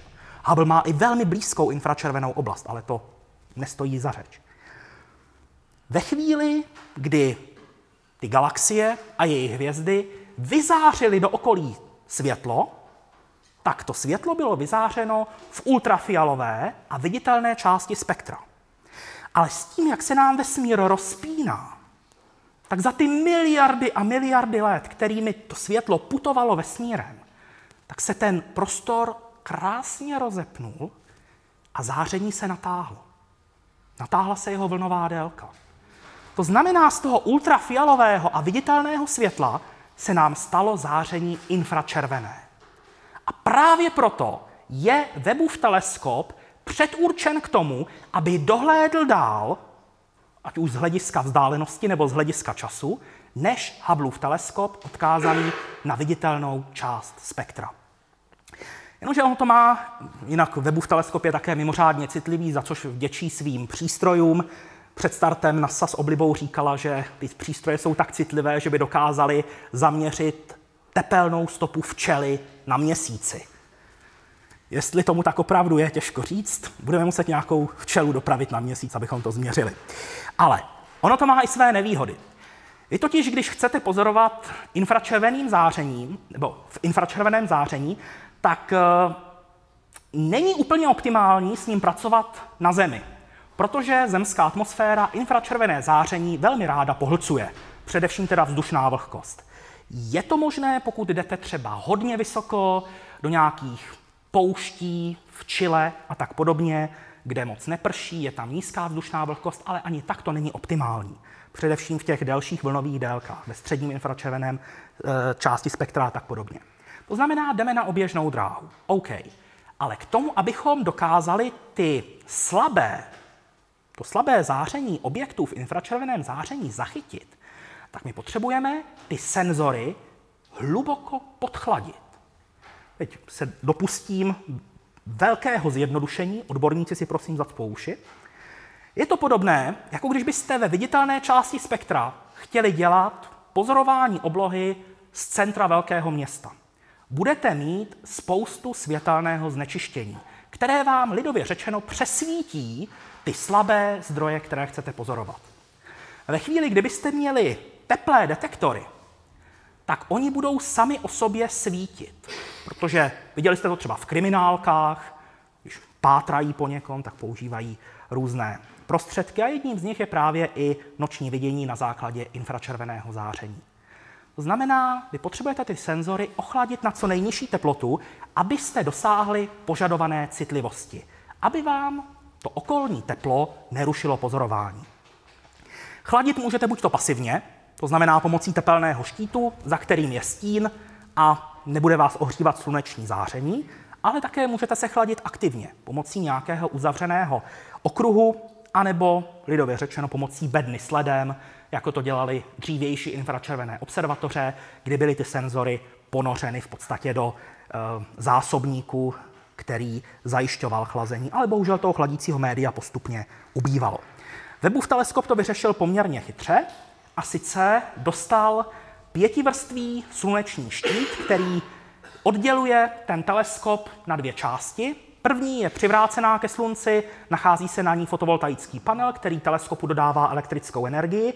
Je tam i anténa, která zajišťuje komunikaci se zemí a tahle ta strana je neustále otočená směrem ke slunci a k zemi. Díky tomu, kde se Webův teleskop nachází, tak díky tomu má slunce i zemi v jedné ose. Ne úplně přímo, protože opisuje tam elipsu, ale má je, řekněme, zhruba v jednom směru. Tady vidíte pár údajů o jednotlivých vrstvách, tomu se úplně věnovat nemusíme, to si můžete přečíst. Abych se tady moc dlouho nezdržoval, pojďme rovnou na vědecké přístroje. Prvním z nich je NIRCam, kamera pro snímkování v, infračer- v blízké infračervené části spektra, NIR, Near Infrared, blízká infračervená část spektra. Tenhle ten přístroj je vybaven koronografem, to znamená, že dokáže zastínit hvězdu, kterou pozoruje a díky tomu může vidět třeba exoplanety, které kolem ní obíhají. Už i to se mu podařilo. Další přístroj, který stojí za pozornost, tak je NIRSPEC, evropský příspěvek do projektu teleskopu Jamesa Webba. Tohle není kamera. NIRSPEC vám neudělá takové ty krásné fotky, ale on je spektrometr. On vám dokáže říct chemické složení určitých objektů, které pozorujete. A co mě na něm fascinuje, je tenhle ten systém takzvaných mikrozávěrek. Těch jsou tam tisíce a je možné každé z těch okýnek, každou z těch okeniček malých individuálně otevírat. To znamená, že vy na tu detekční plochu pustíte světlo pouze z těch objektů, které v tom zorném poli vás zajímají. NIRSPEC dokáže současně provádět měření chemického složení desítek různých objektů. Souběžně. Vy nemusíte jednou otevřít tenhle, pak zavřít, otevřít tenhle. Ne. Otevřete jich třeba několik desítek, on si to vezme na jednou. Další přístroj, podle mého názoru asi nejjedinečnější na celém teleskopu Jamesa Webba, je přístroj MIRI, Zatímco ostatní přístroje pracují v blízké infračervené oblasti, tak MIRI je zaměřená na tu střední infračervenou oblast. To znamená na ještě delší záření a díky tomu může vidět věci, které ty ostatní přístroje vidět nemusí. Nevýhodou je, že potřebuje chlazení. Miry už nestačí pouze být za slunečním štítem, tak jako to stačí všem zbylým přístrojům, ona potřebuje chladící okruh který je uzavřený, to znamená chladící médium tam neubývá, používá se helium mimochodem, a díky tomu je možné ten přístroj ochladit pouze na teplotu 7 Kelvinů. Díky tomu může pozorovat tyhle ty mimořádně cené a zajímavé objekty. No a aby jsme to měli kompletní, tak ještě zbývá kanadský dvojpřístroj, když ty přístroje fungují společně, takže se často označují jako jeden, FGS NIRIS a je to také snímač a spektrograf, takže zvládne hned dva úkoly. Pár informací o tom, co všechno může Webův teleskop zvládnout. Vezmu to letem světem. Od eh, sledování prvních galaxií a prvních hvězd přes pozorování exoplanet, určování jejich chemického složení, až po pozorování objektů, které se nachází ve sluneční soustavě. O vynesení teleskopu Jamesa Webba se postarala raketa Ariane 5, eh, velmi silný nosič, který je zároveň spolehlivý, což je důležité, když na to posadíte zařízení za 10 miliard dolarů, tak to nesvěříte raketě, která eh, třeba pětkrát ze šesti startů havaruje. No a kromě jiného je také evropská. Takže Evropská kosmická agentura část svého podílu obstarala tak, že zajistila nosnou raketu. No a taky má velký aerodynamický kryt. Vy i když ten uh, teleskop Jamesa Webba složíte jako origami, tak pořád je hodně velký a potřebujete velký aerodynamický kryt, jak z hlediska výšky, tak z hlediska průměru, aby se tam vůbec vešel. K tomu, aby byla raketa Ariane 5 schopná nést teleskop Jamesa Webba, tak muselo proběhnout ještě několik eh, úprav na jejich systémech. Šlo především o ventily, které zajišťovaly postupné odtlakování nákladového prostoru pod aerodynamickým krytem v době, kdy raketa nabírá výšku, stoupá do stále řidších vrstev atmosféry, až se dostane téměř do vákua, tak ve chvíli, kdyby uvnitř ještě zůstával zbytkový tlak a došlo by k odhození aerodynamického krytu, tak eh, ten ráz by mohl tu tenkou vrstvu slunečního štítu poškodit. Testovalo se to, nakonec se dostali velmi blízko požadované hodnotě a mohlo se letět. Start přišel 25. prosince roku 2021, ale jelikož uh, je to nezbytné zmínit se o startu, tak udělám drobnou výjimku a v té rekapitulaci si řekneme něco i o tom, co se dělo s teleskopem Jamesa Webba během prosince roku 2021. Eh, raketa Ariane 5 splnila svůj úkol a doručila eh, teleskop Jamesa Webba na plánovanou dráhu, na které se oddělil. A teď by se mělo spustit video,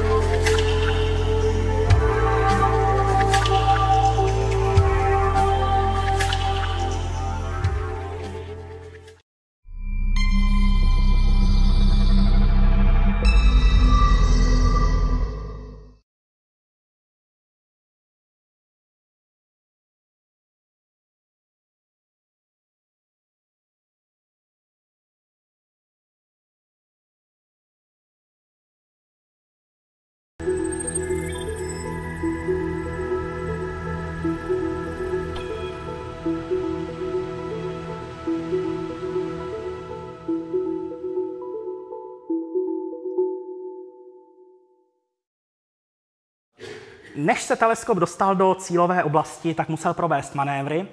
jednak lehce korigoval drobné nepřesnosti v doručovací dráze rakety Ariane 5, ale také musel lehce zrychlit kvůli tomu, že on je konstruován tak, že nemůže brzdit. To by se musel otočit o 180 stupňů, tím pádem by se mu začalo, uh, začalo ohřívat, ohřívat zrcadlo zcela zbytečně a proto raketa jej dopravila na dráhu, která se od té optimální, požadované, drobně lišila. Byl tam drobná, drobný nedostatek, záměrně, který si pak teleskop dohnal sám tím, že drobně zrychlil po té, co už byl oddělený od horního stupně. Právě proto, aby nemusel brzdit, protože to on neumí.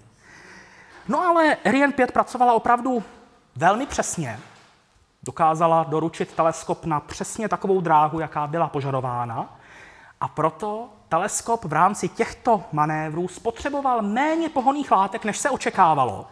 Takže už v téhle fázi bylo jisté, že bude mít dost pohoných látek na celou tu požadovanou základní dobu činnosti 5 let. Velmi pravděpodobně zvládne fungovat 10 let a není to úplně potichu, jak se mluví o možnosti, že by mohl fungovat třeba i 20 let. Z hlediska pohoných látek. Samozřejmě jsou tam i další faktory. Může vám to trefit nějaký mikrometeoroid, může tam dojít k elektrickému zkratu, cokoliv a ten teleskop je ztracený. Ale pohonné látky by mohly být na 20 let provozu. No a začalo nervy drásající rozkládání. Jak jsem říkal, ten teleskop byl složený jako origami a musel se rozložit. V celé historii kosmonautiky nenajdete složitější rozkládací proces. Zatímco běžná družice má jednotky kroků, které jsou kritické k provedení úspěšné mise, vyklopení fotovoltaického panelu, občas nějakého ramene, které nese, které nese magnetometr, případně vyklopení antény. Webův teleskop měl těchto kroků desítky až stovky. Každý z nich byl kritický k tomu, aby ten teleskop mohl vstoupit do služby. Jeden krok se vám nepovede. Jeden krok, přičemž každý krok je tvořený stovkami dílčích kroků, spoustou systémů, které musí fungovat jako přesně namazaný stroj, jako švýcarské hodinky. Jeden se vám nepovede. A 10 miliard dolarů je v kosmickém prostoru. 26. prosince se začalo vyklopením komunikační antény pro eh, eh, vysokorychlostní datové přenosy. To je ona. Tohle je eh, středně zisková anténa, která nemá tak eh, úzký komunikační svazek, ale eh, zase na druhou stranu nemá tak vysokou datovou propustnost. Ve chvíli, kdy teleskop komunikoval, měl už teda vyklopený fotovoltaický panel, tak prvním důležitým krokem bylo vyklopení předního nosníku. K tomu došlo 28. prosince a celý proces trval 20 minut. Samozřejmě všechno se to důkladně kontrolovalo. Jestli náhodou v některém pohybivém prvku není trošičku větší tření, jestli se ty uh, systémy nenamáhají, jestli to neznamená, že je tam někde zádrhel. Zkrátka dobře, pozemní středisko nechtělo nic podcenit. 29. prosince se ten samý krok opakoval u zadní poloviny složeného uh, slunečního štítu. To už trvalo teda jenom 18 minut, je vidět, že už si trošku věřili po té přední polovině.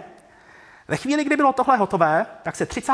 prosince mohla povytáhnout část tvořená zrcadly a vědeckými přístroji. Lidově řečeno, Webův teleskop natáhnul krk.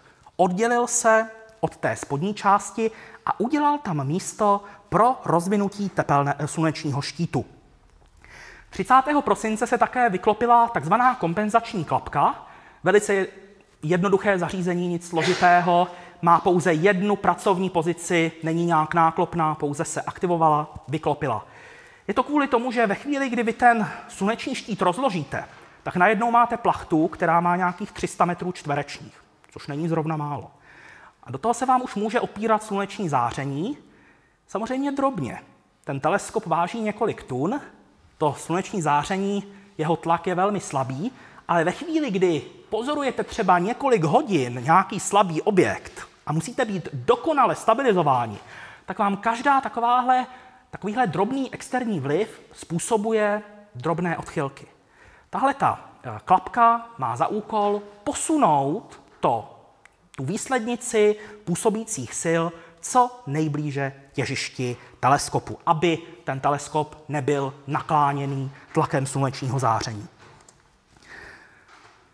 No a 30.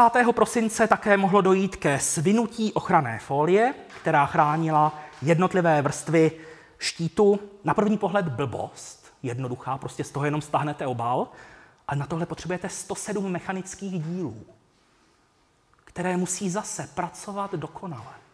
A já ty jednotlivé počty dílů neuvádím u každého kroku, ale u jednoho takovéhle drobného úkolu 107 dílů Žádný nesmí selhat. 31. prosince se začal vysunovat nosník na levoboku, teda takhle, a začal vytahovat v té chvíli ještě složené vrstvy slunečního štítu. Vidíte, trvalo to několik hodin, opět pozemní středisko nechtělo nic uspěchat, rozhodně ho nechtělo natrhnout nebo něco takového. Kontrolovalo se, jestli všechny motory třeba mají takové odběry energie, jaké byly při pozemních testech. Jestli tam náhodou něco nedře, jestli není něco zaháknuté. Na Zemi se rozkládal ten štít několikrát. Měli velmi přesné údaje, ze kterých mohou vycházet. No a do nového roku jsme vstoupili vytažením štítu i na druhé straně, tentokrát na pravoboku. No a protože se práce trošičku protáhly až do, řekněme, konce roku, tak řídící středisko dalo pracovníkům den volna, aby si trošičku odpočinuli a potom mohla jejich práce pokračovat. Napínání štítů těch jednotlivých vrstev šlo nad očekávání dobře. Původně se předpokládalo, že to potrvá 72 hodin, ale nakonec první vrstva natažená, napnutá 3. ledna, no a pátá vrstva, poslední, byla rozložená o den později. Takže naprosto perfektní práce. Začalo vyklápění optiky. To znamená, sekundární zrcadlo na takové trojnožce se vyklopilo dopředu, zaaretovalo se ve vzdálenosti 7 a čtvrt metru před zrcadlem primárním. Mohli jsme vyklopit radiátor v zadní části, který slouží k tomu, aby se odvedlo odpadní teplo.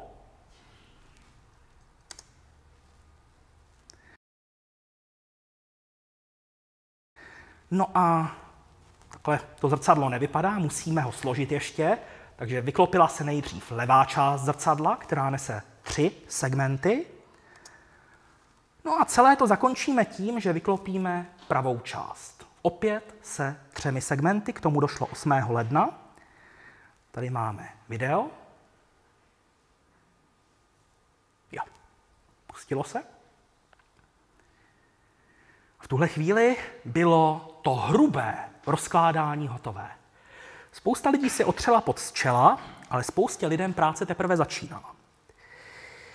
Po 20 letech práce, 178 uvolněných pojistkách, 50 hlavních rozkládacích krocích a více než třech stovkách kritických míst, na kterých mohlo to rozkládání selhat, takže by to nešlo zachránit, bylo základní rozkládání hotovo.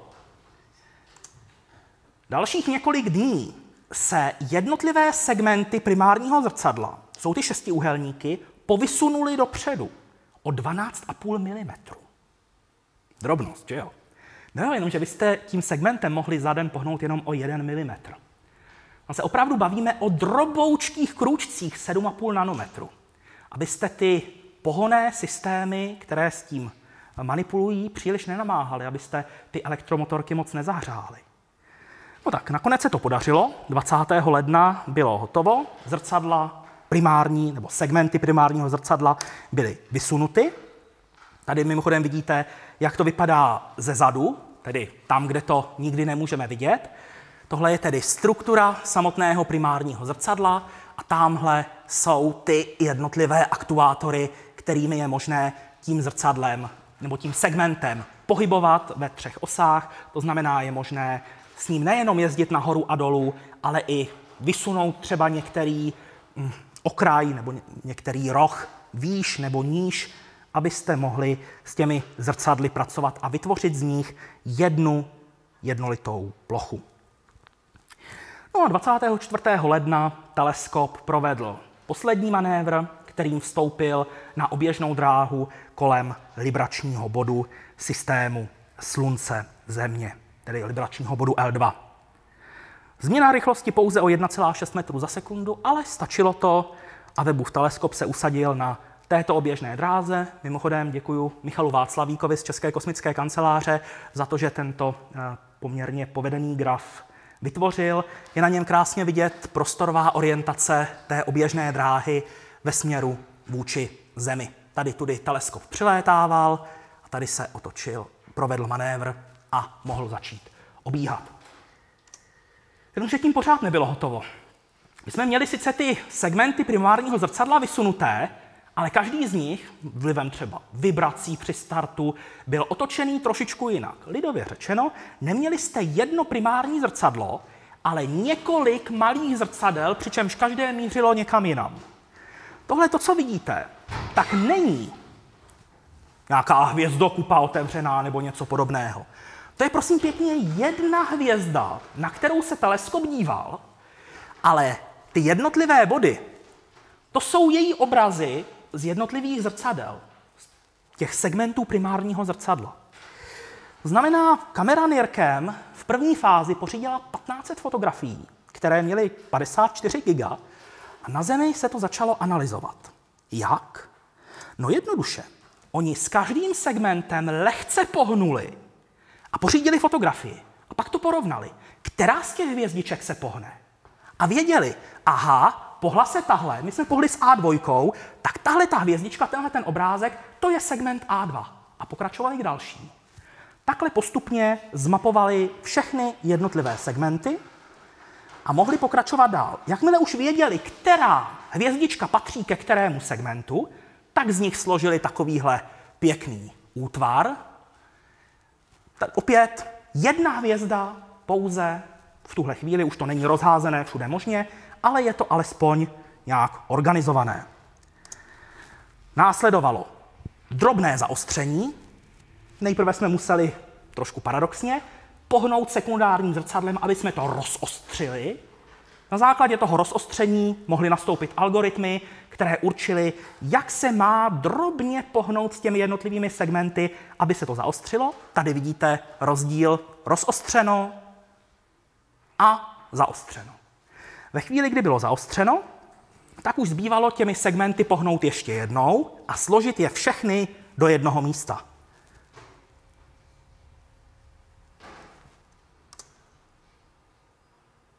Nechce se mu. Tak, už. Ne, ne, zpátky.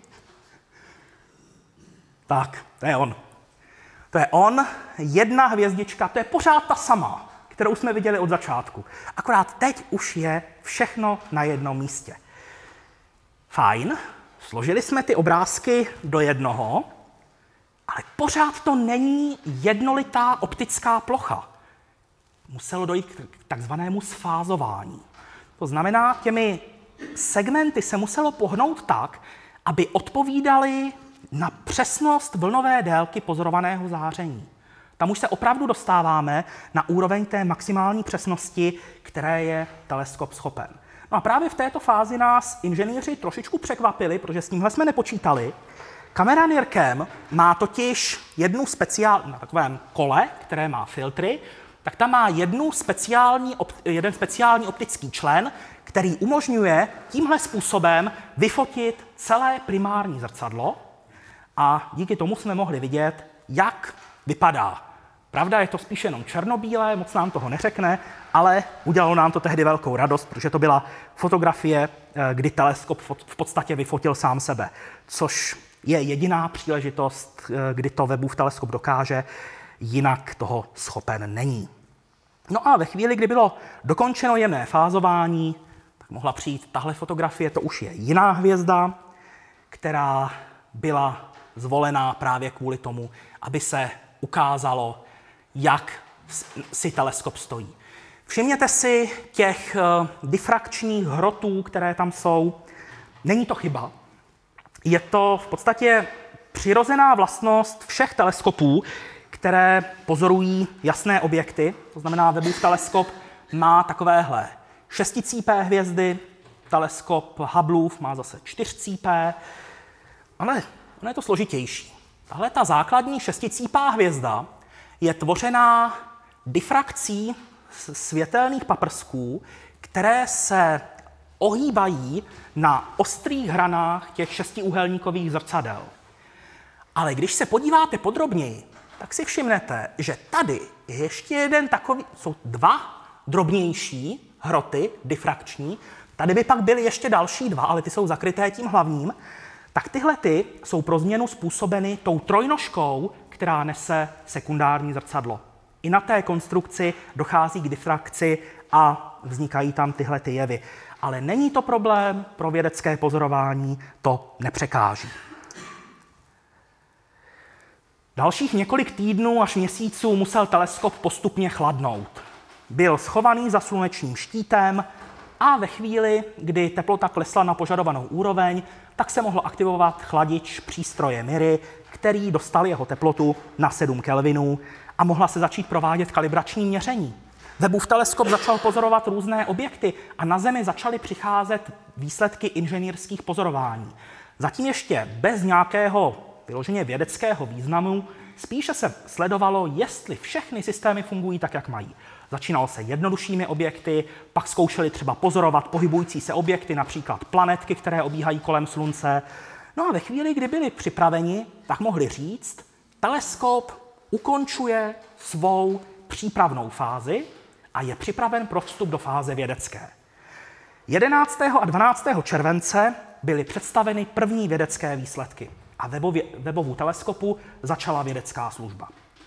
Jako úplně první snímek byl zveřejněn tento, opět je to ultrahluboké pole, podobně jako udělal Hubbleův teleskop, jen s tím rozdílem, že už to netrvalo dny, jako v případě Hubbleova teleskopu, ale 12,5 hodiny.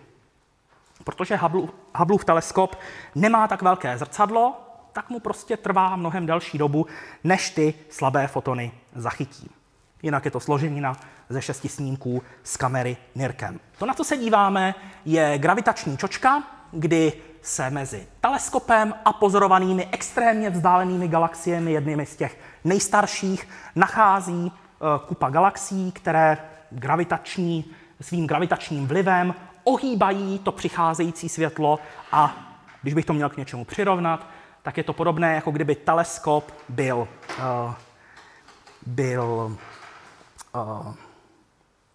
nástavcem, do kterého se v dalekohledu díváte a tím objektivem by byla, by byla uh, ta čočka uh, gravitační.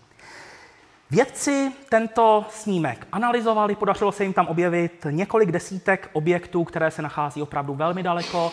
Mohou se mezi nimi nacházet i ty nejvzdálenější objekty, které jsme zatím pozorovali, a tohle je zatím pouze první snímek. Mimochodem o jeho důležitosti svědčí i to, že původně ho měla představit sama NASA v rámci přímého přenosu. Nakonec si tuhle tu čest nenechal ujít americký prezident, který o několik hodin dříve ukázal pouze tento jeden snímek s tím, že NASA pak ukáže ten zbytek.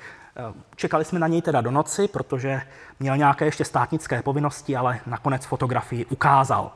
Druhý den NASA představila další snímky. A nejenom snímky. Dočkali jsme se třeba těchto výsledků, které se týkají toho snímku, který jsme si ukazovali, ale už tam můžeme pozorovat třeba eh, chemické složení z přístroje NIRSPEC. U těch extrémně vzdálených objektů můžeme zjistit, jaké, jaké sloučeniny se tam nachází. Dočkali jsme se, tak to je další pokračování, vidíte, je tam ku příkladu kyslík a vodík, je tam také neon. Porovnání eh, v, ve střední infračervené oblasti s přístroje MIRI a blízké infračervené oblasti s přístroje NIRCam. Kromě toho, Webův teleskop, eh, že dělá krásné fotografie, a, tak dokáže také poskytovat cená data. V tomhle případě eh, hned při tom prvním zveřejněném balíku dat ukázal chemickou analýzu složení atmosféry jedné exoplanety, Tady na tom obrázku je krásně vidět, že Webův teleskop začal pozorovat ještě předtím, než došlo k přechodu planety před diskem hvězdy. Sledoval po celou dobu přechodu a také několik desítek minut poté, co pře- přechod skončil. Prováděl měření každých 84 sekund a, jak tam píšu, je schopen zachytit odchylku dvou setin procenta z hlediska jasu té hvězdy. Nakonec ten celkový rozdíl mezi nezastíněným a plně zastíněným byl okolo 1,5% Co je důležité, tak se ukázalo, že tahle ta planeta dvojité VASP 96b obsahuje ve, své, ve své atmosféře vodu, vodní páru, protože je zahřátá na nějakých 1350 stupňů Celsia, tak tam to velmi pravděpodobně bude právě vodní pára. Dočkali jsme se také téhle fotografie jižní prstencové mlhoviny. Tam se naplno ukázalo to, o čem jsem hovořil, a sice, že infračervené záření krásně prochází prachem a není, není blokováno. Jedno takové drobné porovnání. Tohle je fotografie stejného objektu z Hubbleova teleskopu eh, ve viditelné části spektra a tohle je fotografie stejného objektu ve střední infračervené oblasti webovým teleskopem přístrojem MIRI. Stefanův kvintet, pětice galaxií, z nich čtyři se navzájem gravitačně ovlivňují. Jsou tam nádherně vidět oblasti vzniku nových hvězd a mimochodem to rozlišení 12 000 obrazových bodů krát 12 000 obrazových bodů. To je prostě něco, co vyráží dech. Na internetu máte možnost si všechny obrázky z webova teleskopu stáhnout v plném rozlišení. Doporučuji adresu esawebb.com. No a jak jsem říkal, webův teleskop nedělá jenom hezké fotky, ale dokáže pořizovat i spektrální měření. V případě Stefanova kvintetu jsme dokázali analyzovat chemické složení toho plynu, který se pohybuje v okolí černé díry. Další snímek zachycuje opět eh, složení eh, právě toho plynu v okolí aktivní černé díry. Myslím si, že asi nejkrásnější pohled, který nám Webův teleskop nabídl v rámci toho prvního balíku dat, tak se týkal mlhoviny Karina, kterou už vyfotil Hubbleův teleskop. To vidíme zde, není to celá mlhovina, je to pouze její okraj. A srovnejme to s webovým teleskopem. Mnohem více detailů, vyšší rozlišení a hlavně i zde je vidět, že u Hubble spousta prachu blokuje pohled dovnitř, kdežto tady můžeme nádherně vidět jemnou vnitřní strukturu. No a tady je ten obrázek. Ne v plném rozlišení, to bohužel tenhle ten uh, display ani uh, projektor nedokáže, ale v plné kráse. Ještě jednou mlhovina Karina, tentokrát ve střední infračervené oblasti pohledem přístroje MIRI. Webův teleskop funguje na to čekávání dobře, před startem se dělaly počítačové simulační modely, jak se bude v průběhu času jeho kvalita zhoršovat, protože počítalo se s tím, že zrcadla budou dostávat zásahy mikrometeoroidy a postupně se to bude zhoršovat. Proto byla ta kvalita od začátku naddimenzovaná, aby i po několika letech provozu nebyla ta kvalita špatná, ale jenom dobrá. Oproti té vynikající na začátku. Webův teleskop schytal už několik zásahů mikrometeoroidy, přičemž pouze jeden z nich byl větší, než se očekávalo, ale celkově je na tom Webův teleskop stále lépe, než předpovídali předstartovní modely. A počínaje druhým pozorovacím cyklem, který se vždycky plánuje na jeden rok, tak už se začne zohledňovat i orientace toho dalekohledu v prostoru. To znamená, že v těch plánovaných pozorováních, pokud to bude možné, tak se teleskop vždycky bude dívat tak, aby nenastavoval své zrcadlo přilétávajícím kosmickým objektům. Samozřejmě není to pravidlo, které se nedá překonat. Ve chvíli, kdy bude aktuálně potřeba něco pozorovat, tak se tam ten teleskop otočí. Prostě jenom se od, s tím bude od začátku počítat, aby tam nekoukal zbytečně moc, když to není nutně potřeba. Tak a dostáváme se k poslednímu tématu. Uh, jak jsme na tom s časem? 18.45? Fakt, jo? To jsme dlouhý. No, já jsem sliboval hodinu a půl na celou přednášku. Hm? Dobrý. Každopádně, eh, mise Artemis 1, eh, první start programu Artemis, bezpilotní test kosmické lodi Orion, je taková zásada v kosmonautice, že se snažíme, pokud je to možné, kosmickou loď, která má vozit posádku, při první misi poslat bez lidí. Raketoplány americké byla výjimka. Ty museli mít už od první mise posádku na palubě, protože bez ní by nepřistáli. Ale Orion takový není a proto si odbil nejprve bezpilotní testovací misi Artemis 1. První pokus o start proběhl 27. srpna a tehdy to vypadalo hodně nadějně, zvlášť ve světle těch dalších pokusů. Všechno fungovalo. Raketa byla natankovaná kompletně a už začalo předchlazení motorů. Když se drobná část pohonných látek pustila do motoru, aby se lehce předchladili, aby ve chvíli, kdy do nich při startu vtrhnou ty tuny pohonných látek, eh, kapalného kyslíku a kapalného vodíku, tak aby ne, neměli tepelný šok a nepraskli. Tři ze čtyř raketových motorů RS-25 na centrálním stupni hlásili správnou teplotu. Čtvrtý motor ne. Tak NASA si řekla, první pokus odvoláme, vyměníme čidlo. Teda respektive, teď jsem to pokazil. Uh, ukázalo, se, ukázalo se nakonec, že ten uh, ventil, který byl původně podezřívaný z toho, že nefunguje, tak byl v pořádku. Chyba byla v čidle. To čidlo hlásilo špatnou teplotu, takže nakonec se pouze vyměnilo čidlo a mohlo se pokračovat dál. Jenomže ono to nebylo tak jednoduché. Když se totiž NASA 3. září pokusila po druhé o start, tak najednou na rychlospojce, která se nachází zde, přes kterou proudí do centrálního stupně rakety SLS, tady je to hezky vidět, kapalný kyslík a kapalný vodík, jedna je na kapalný kyslík, druhá na kapalný vodík, tak se objevila poměrně významná netěsnost na přívodu kapalného vodíku. S kapalným vodíkem je problém. Má extrémně malé molekuly, které vám proniknou i přes sebe menší skulinku. Proto se toleruje únik vodíku do určité úrovně. V tomhle případě ale byla ta hodnota, byť stále v bezpečných hranicích, tak bylo to překročení limitu, nemohlo se pokračovat dál. Ona ta rychlospojka jednak, vy přes ní potřebujete dostat stovky tun kapalného kyslíku a kapalného vodíku, každá, každý z nich má jednu, ale ve chvíli, kdy ta raketa startuje, tak se ta rychlospojka musí rozdělit a jedna její půlka zůstane na raketě, druhá půlka zůstane na startovní rampě.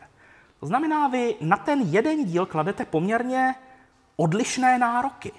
Jednak těsnost při plnění a zároveň schopnost rychlého oddělení při startu. NASA proto rozhodla, že odvolá i druhý pokus o start, právě kvůli té netěsnosti vodíku, a začala řešit, co s tím. Pochopitelně dospěla k názoru, že nejjednodušší bude vyměnit těsnění na té rychlospojce. Ale kde to udělat? Nabízely se dvě možnosti. Buď to se celá raketa převeze do montážní haly VAB. Výhodou by bylo, že máte sterilní prostředí, neprší na vás, jste chránění před větrem. Ale v nevýhodou je, že ve hale VAB vy byste to nemohli otestovat. Vy byste to museli vyvést zpátky na startovní rampu, kde to připojíte na přívody kapalného kyslíku a kapalného vodíku a vyzkoušíte, jestli vám to těsní nebo ne. Ale chvíli, kdybyste zjistili, že vám to netěsní, tak byste zase museli jet zpátky. Proto NASA dala přednost druhé možnosti provést opravu přímo na rampě. Tam je teda problém, že jste vystavení živlům, ale máte možnost hned po opravě provést zkoušku. Nakonec to NASA vyřešila velmi chytře a kolem té rychlospojky si vybudovala takový ochranný kryt, který trošičku připomíná pařeniště, nebo je, je to foliovník takový, aby na ty pracovníky nepršelo, aby tam byla zajištěná optimální atmosféra a díky tomu se podařilo vyměnit ten, eh, to, tu těsnící vložku. Následovala zkouška 21. září, se začalo s tankováním, to se ještě letět nemělo. Únik se objevil znovu. Tak NASA už začala být trošku nervózní, tak zkusila tu rychlospojku ohřát, aby se ty mechanické díly třeba trošičku posunuly a sedly si lépe ve chvíli, kdy se opět začne pouštět kapalný, eh, kapalný vodík. Velmi nízkým tlakem. NASA tam doslova zdůrazňovala, že to byl téměř jako kdyby tam foukali ten kapalný vodík, aby se to náhodou nějak nepoškodilo. Nakonec se to podařilo. Ale ten únik se choval poměrně, poměrně divně. Zatímco u těch předchozích případů vždycky, když eh, se zvyšoval tlak přiváděného vodíku, tak ten únik rostl. V tomhle případě, když se začal zvyšovat tlak přiváděného vodíku, tak ten únik začal klesat. Jak se to tam prostě zatěsnilo samo o sobě. NASA se o to moc nezve, e, nezmiňovala, byli asi rádi, že jim to fungovalo. A tak mohli přistoupit k tomu, že na 27. září vyhlásili další pokus o start.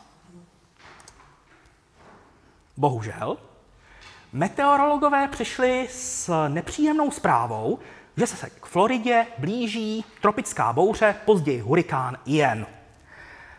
Předpověď nevypadala vůbec dobře, že ten hurikán měl být poměrně silný a měl přecházet v blízkosti Kennedyho kosmického střediska a NASA nechtěla riskovat jednak to, že by eh, byla raketa poškozená třeba větrem, ale navíc v tom větru vám létají různé ulomené větve, dopravní značky, slunečníky, Bůh ví co, lidé nechají venku a to by s tou raketou mohlo udělat docela nepěknou paseku.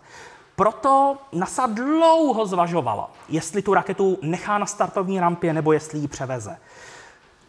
Vypracovala postupy pro jistotu, kdyby náhodou bylo potřeba odjet, přijela tam s crawler transportérem, kdyby byl potřeba, nakonec to teda nešlo jinak.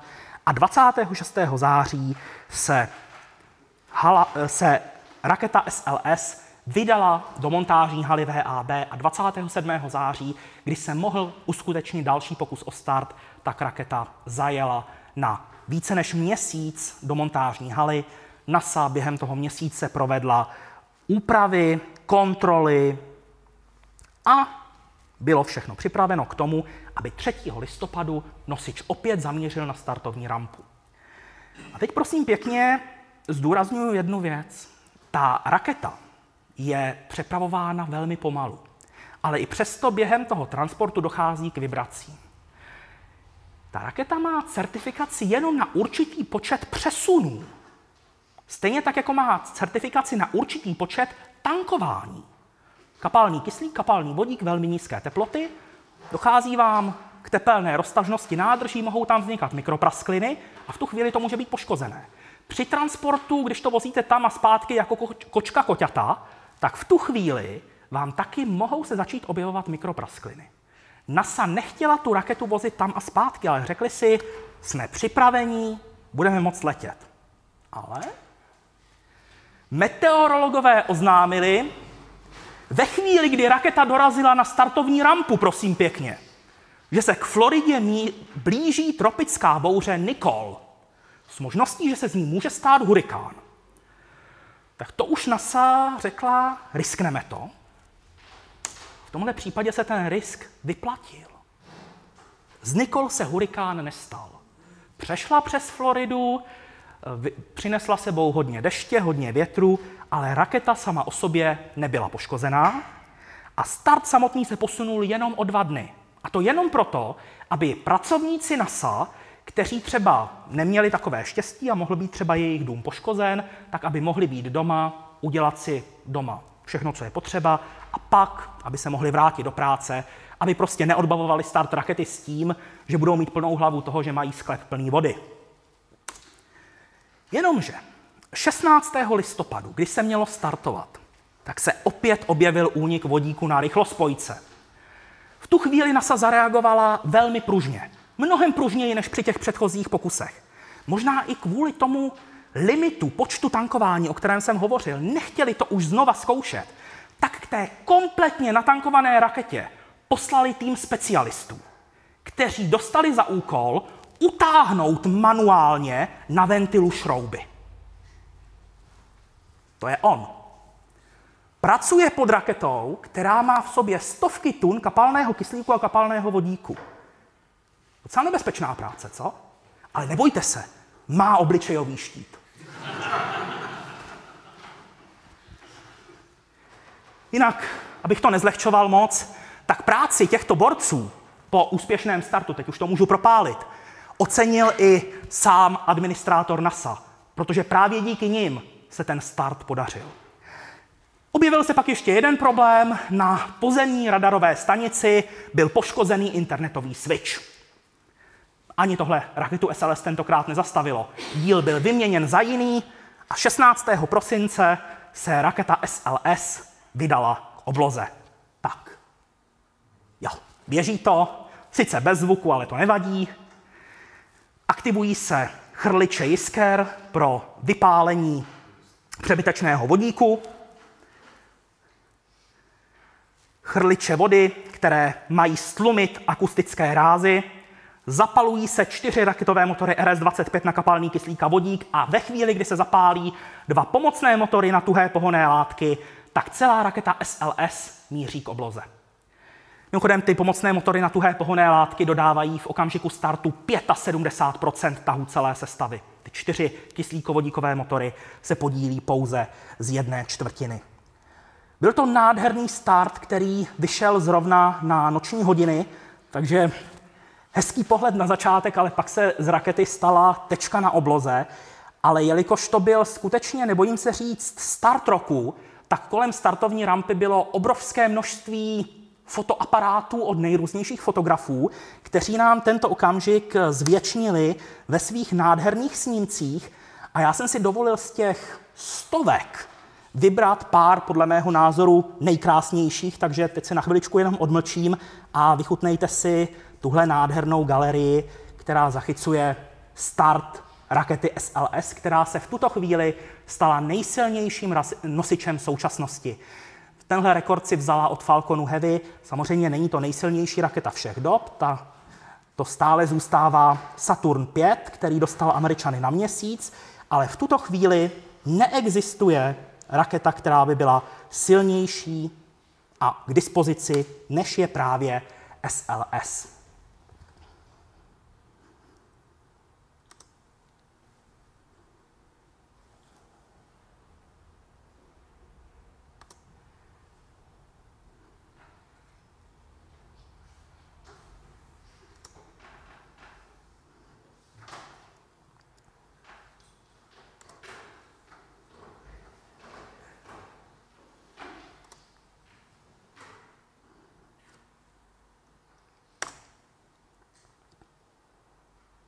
Prostřední obrázek odhození pomocných motorů na tuhé pohonné látky.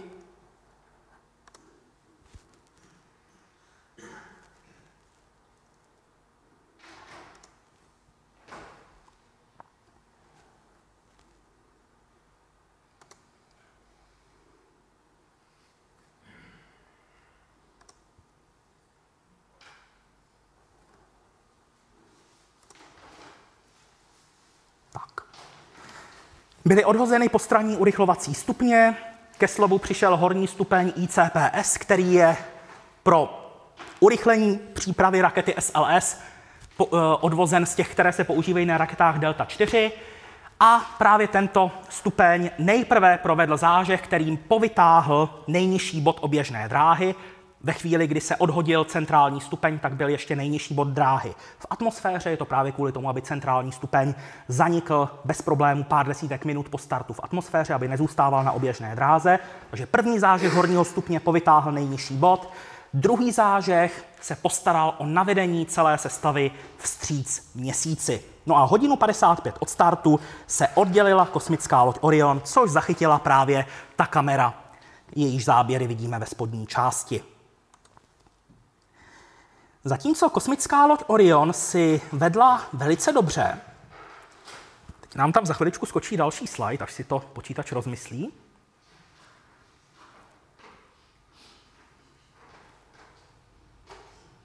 Teď mi to přeskočí dva, že jo? Ne? Tak asi dobrý.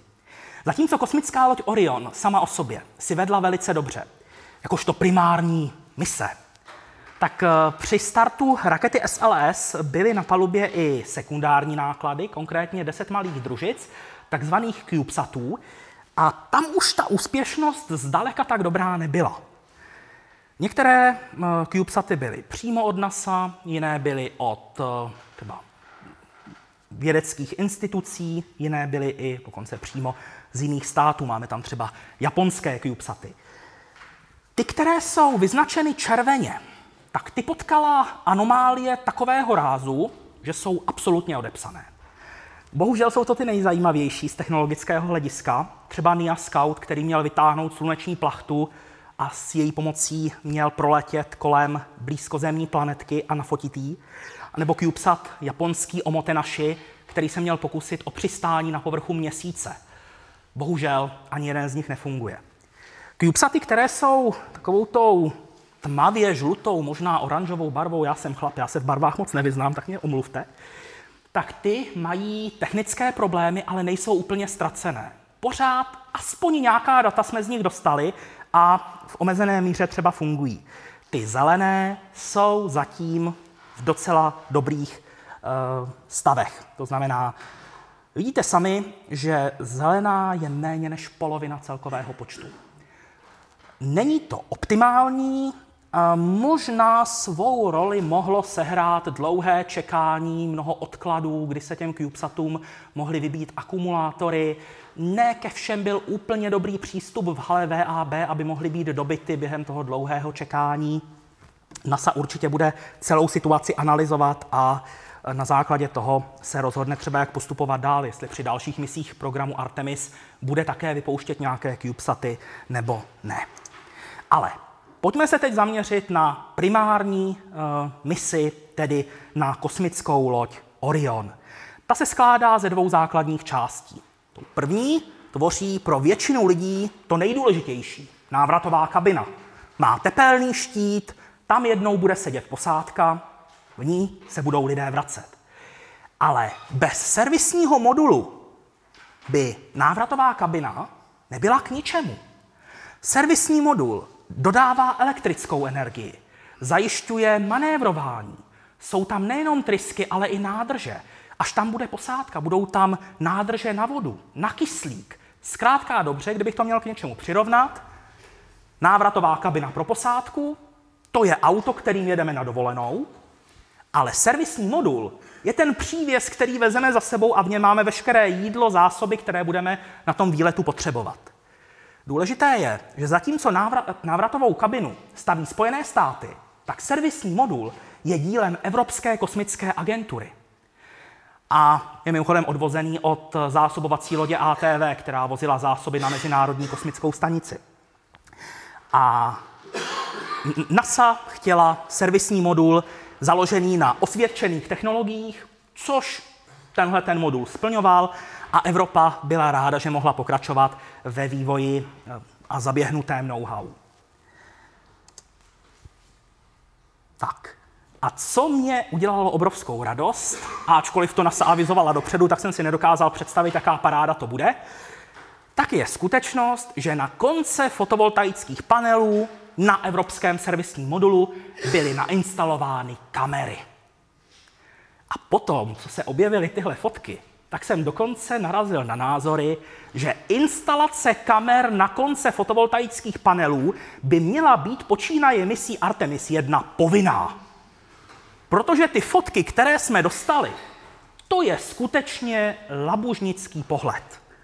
Vidíte sami, pohled nejenom na servisní modul, tady bychom viděli, kdyby tady nebyl ten adaptér, tak bychom viděli samotnou návratovou kabinu, zde vidíme Zemi, tady nám vyčuhuje měsíc, ale to není všechno, máme tam i další fotografie, ty přijdou asi později, nevadí. Já jsem říkal, že mise Artemis 1 je bezpilotní, nebo byla bezpilotní, už není, už skončila. Ale kdybyste se dostali do kabiny, tak byste na chviličku nad tímhletím konstatováním zapochybovali. Protože v křesle seděla figurína Munikin Campos, oblečená do oranžového skafandru, který budou nosit astronauti v lodi Orion, až v ní poletí. Tahle figurína byla prošpikována nejrůznějšími senzory, které měřily teplotu, tlak, vibrace, zkrátka a dobře všechno možné, co vás napadne, včetně kosmického záření. A cílem je teda zjistit, co by zažívala posádka na palubě. Tohle, to, co tady vidíte, tak je eh, technologický demonstrátor Kalisto, který měl vyzkoušet možnosti hlasového ovládání kosmické lodi. A protože nikdo nechtěl riskovat, že by na hlasového asistenta napojil nějaké kritické systémy lodi, třeba manévrování, víme všichni, jak, co někdy hlasoví asistenti dokážou, třeba když je máme v mobilu, jak si dokážou vyložit některé pokyny, tak uh, zkusili jenom něco co, takového nevinného, a sice na ten hlasový asistent bylo napojeno osvětlení kabiny. To znamená, testovalo se změna barvy osvětlení. Někdy můžete vidět fotografii útrop Orionu v zelené barvě, jindy v červené. Tak to všechno bylo na základě toho hlasového ovládání, které by v budoucnu mělo astronautům usnadnit ovládání kosmické lodi. Pochopitelně v té době už to nebude jenom o tom, že si tam budou chtít udělat nějaké intimní osvětlení, ale pochopitelně do budoucna, až bude ten systém otestovaný, tak bude moci astronautům pomáhat skutečně s nějakými důležitějšími věcmi. No ale kromě Muniky na kampose, tam byly také dvě figuríny, takže Munikin tam měl dvě kamarádky, Helgu a Zohar. Jsou to figuríny, které mají pouze torzo, tedy tělo a hlavu. Je to pokračování experimentu který probíhá už několik let na Mezinárodní kosmické stanici. A tyhle figuríny mají za úkol analyzovat účinky kosmického záření na lidské tkáně. A i zde byly skutečné lidské tkáně, které byly vystaveny skutečným podmínkám letu u měsíce. Jedna z těch figurín, konkrétně Zohar, měla na sobě ještě oblečenou protiradiační vestu izraelskou a díky tomu se může porovnat, jaké jsou rozdíly v těch dávkách, které jednotlivé figuríny dostaly. Samozřejmě, dostávám velmi často otázku, proč se tohle dělá dneska, když jsme měli program Apollo. Rozdílů je hned několik. Jednak mise programu Artemis mají trvat mnohem déle než mise programu Apollo. To znamená, že za tu dobu dostane lidské tělo vyšší dávku kosmického záření. A zatímco v programu Apollo letěli k měsíci pouze muži, tak v programu Artemis, ono je to už v tom názvu, Artemis byla sestrou Apolóna. Necháme teď trošku stranou, že podle mytologie zabila Oriona, jo? To bude naše malé tajemství. Ale eh, v rámci tohoto programu se mají na měsíc vypravit i ženy. NASA často říká, že v rámci programu Artemis stane na měsíci první žena. A my už z historie víme, že ženské tělo snáší to kosmické záření hůř než mužské. To znamená, že i zde byly použity tkáně z ženských těl, aby bylo možné optimálně vyhodnotit, jaké riziko ženám při těchto lunárních misích hrozí a na základě vyhodnocení se NASA rozhodne, jestli třeba budou astronautky a astronauti třeba také při misích k měsíci nosit tyto protiradiační vesty. Nemusí třeba celou dobu, ale například 6 hodin denně, případně nějaký jiný čas. No, kosmická loď Orion se 21. listopadu dostala k měsíci. Tady vidíte důležitá věc. Ty fotovoltaické panely nebyly pořád v jedné orientaci. Oni se mohli naklánět a otáčet. Takže mohli jste je připažit, mohli jste je otáčet různě a díky tomu je to úžasný prostředek k tomu, jak nafotit prakticky celou kosmickou loď. Tady vidíte mimochodem logo Evropské kosmické agentury, která tam nemůže chybět. Tohle je tedy návratová kabina tamhle v pozadí vidíme měsíc. Vidíte tady všechny důležité údaje, které se týkaly listopadového dění. Orion proletěl 130 km nad povrchem měsíce, provedl manévr, 25. listopadu přišel další zážeh Evropského servisního modulu a Orion se usadil na oběžné dráze DRO, Distant Retrograde Orbit.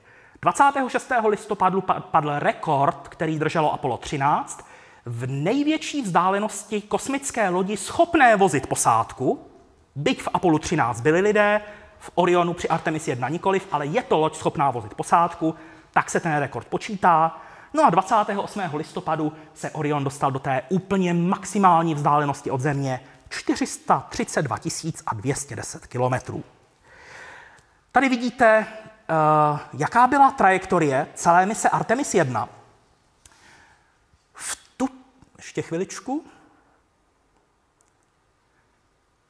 Blížíme se k měsíci. Průlet kolem měsíce ve vzdálenosti 130 km. Navedení na dráhu DRO přichází ten zážeh právě teď. Tak, jsme na dráze DRO, prolétáváme v té maximální vzdálenosti od Země. Orion provedl půl oběh na dráze DRO.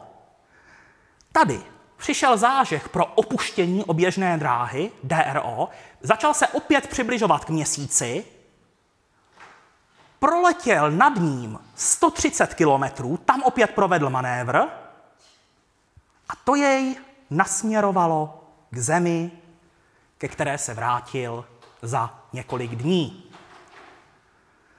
Takže ve srovnání s programem Apollo trošičku složitější přeletová dráha s několika manévry, ale zase na druhou stranu se tím nádherně prověřilo fungování všech systémů, především těch pohoných lodí Orion, především teda servisního modulu.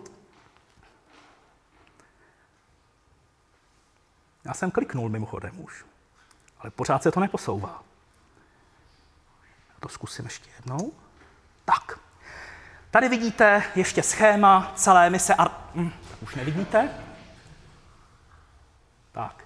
Celé schéma mise Artemis 1 od startu přes průlet kolem měsíce, vstup na dráhu DRO, to je ta 12.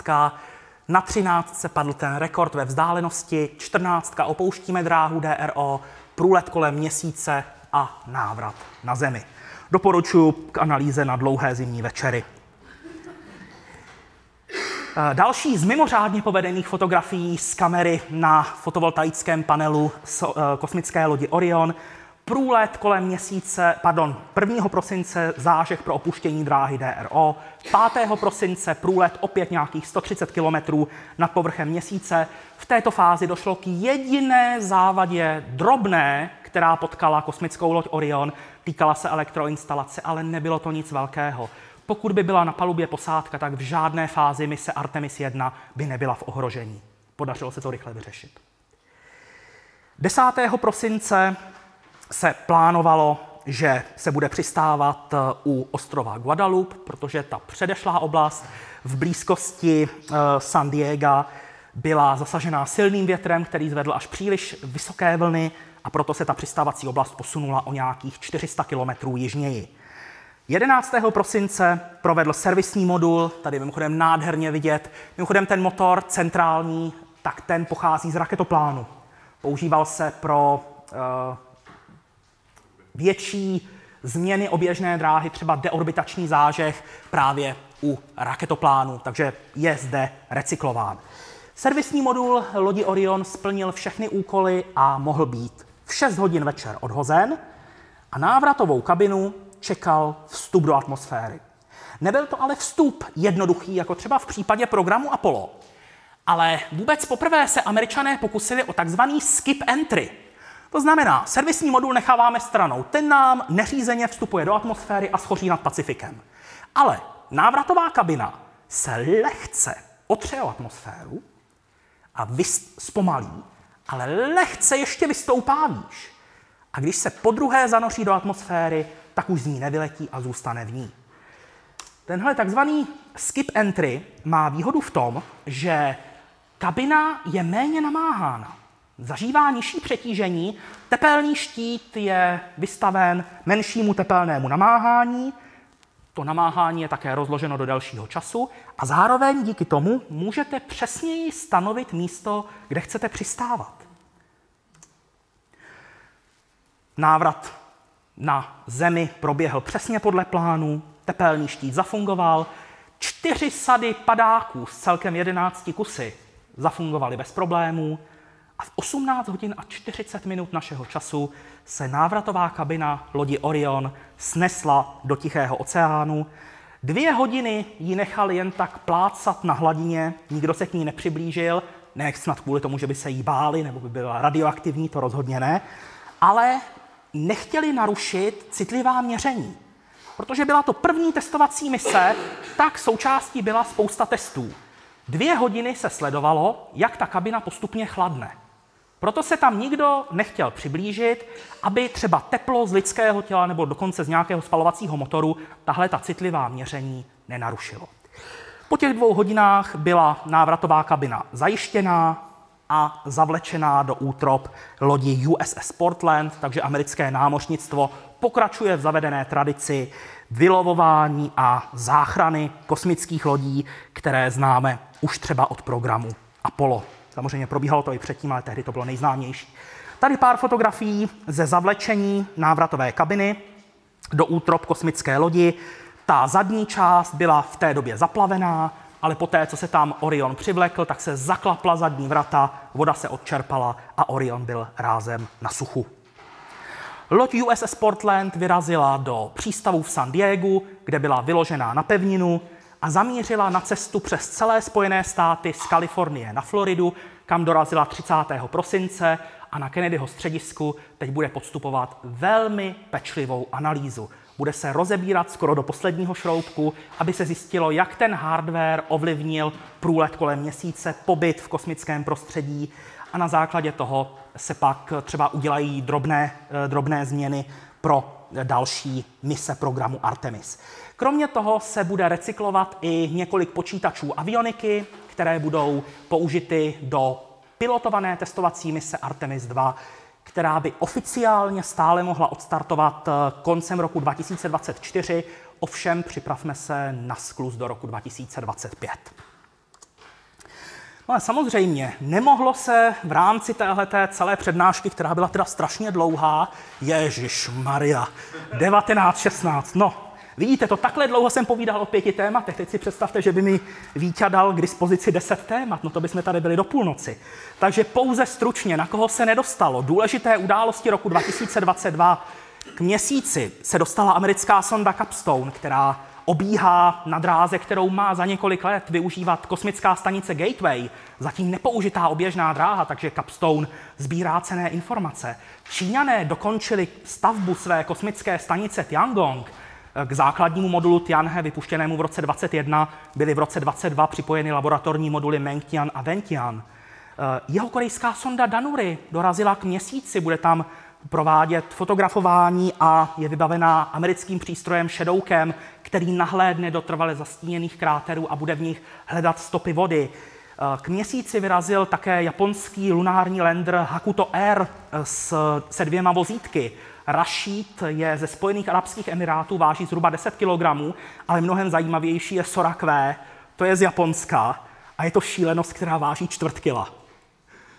To, to, to se vám vejde do dlaně, je to jak tenisák. Rozloží se takhle na dvě části a jsou to kola, která se mohou otáčet. Neuvěřitelné a strašně se těším, jak to bude fungovat. Lunar Flashlight, malý CubeSat 6U, který letěl společně s Hakuto Air, tak eh, on si posvítí dvěma lasery do trvale zastíněných kráterů a ty vlnové délky laserů byly nastaveny přesně tak, aby odpovídaly vlnovým délkám, které pohlcuje voda.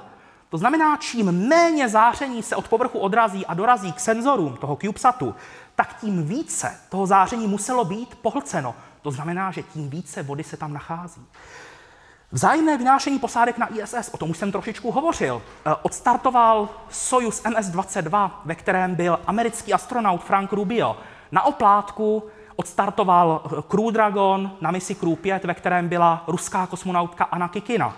Tohle to bude pokračovat i dál. Díra v Sojuzu MS-22 15. prosince došlo k zásahu pravděpodobně mikrometeoroidem, který trefil jeden chladící okruh kosmické lodi Soyuz MS-22.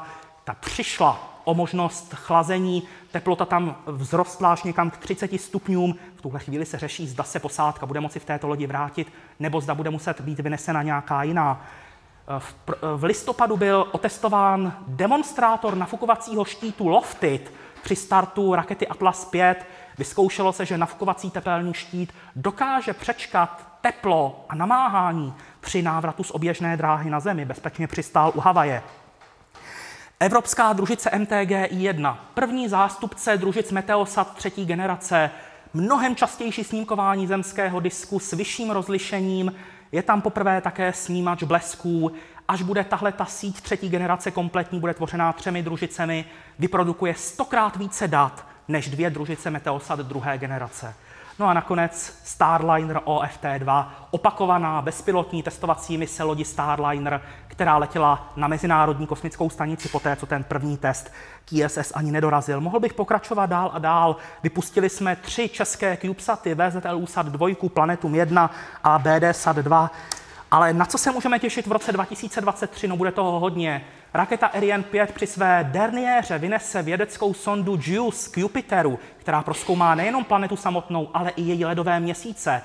Eh, Ganymed, Europu a Kalisto. Sonda Psyche se vydá k planetce stejného jména, což je úplně jiný svět, než jaký jsme doposud viděli.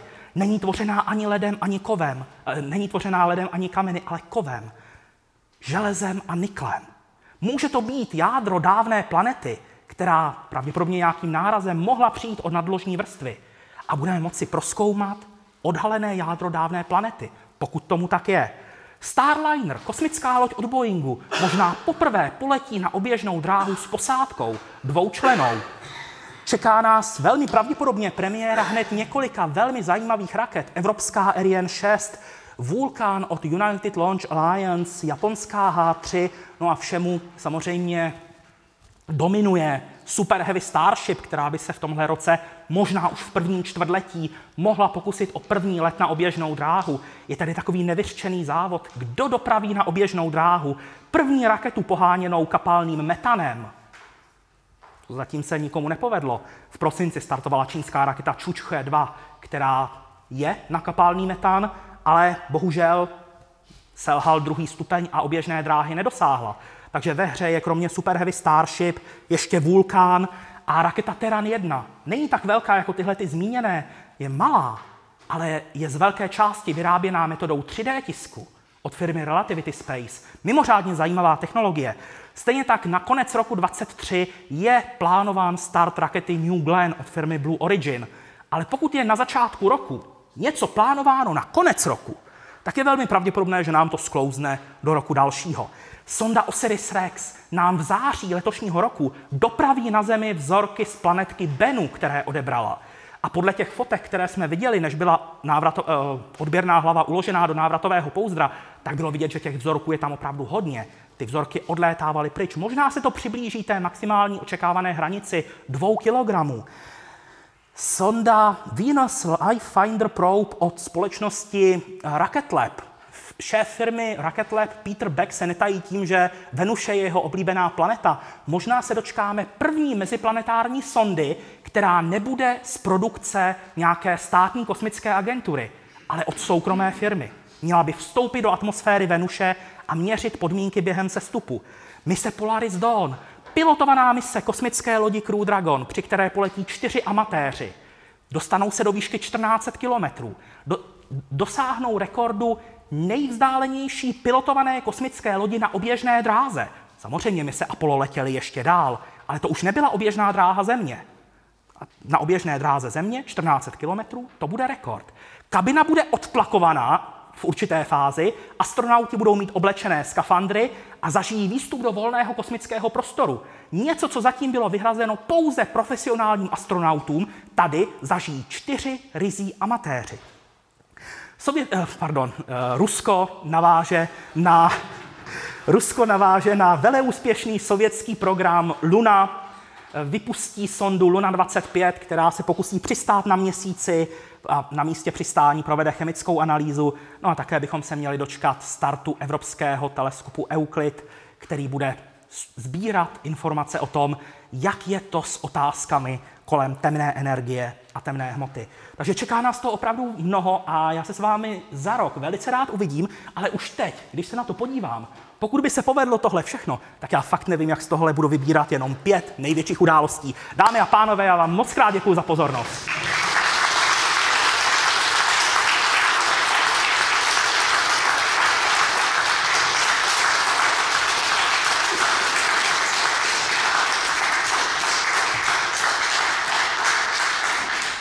Děkuju.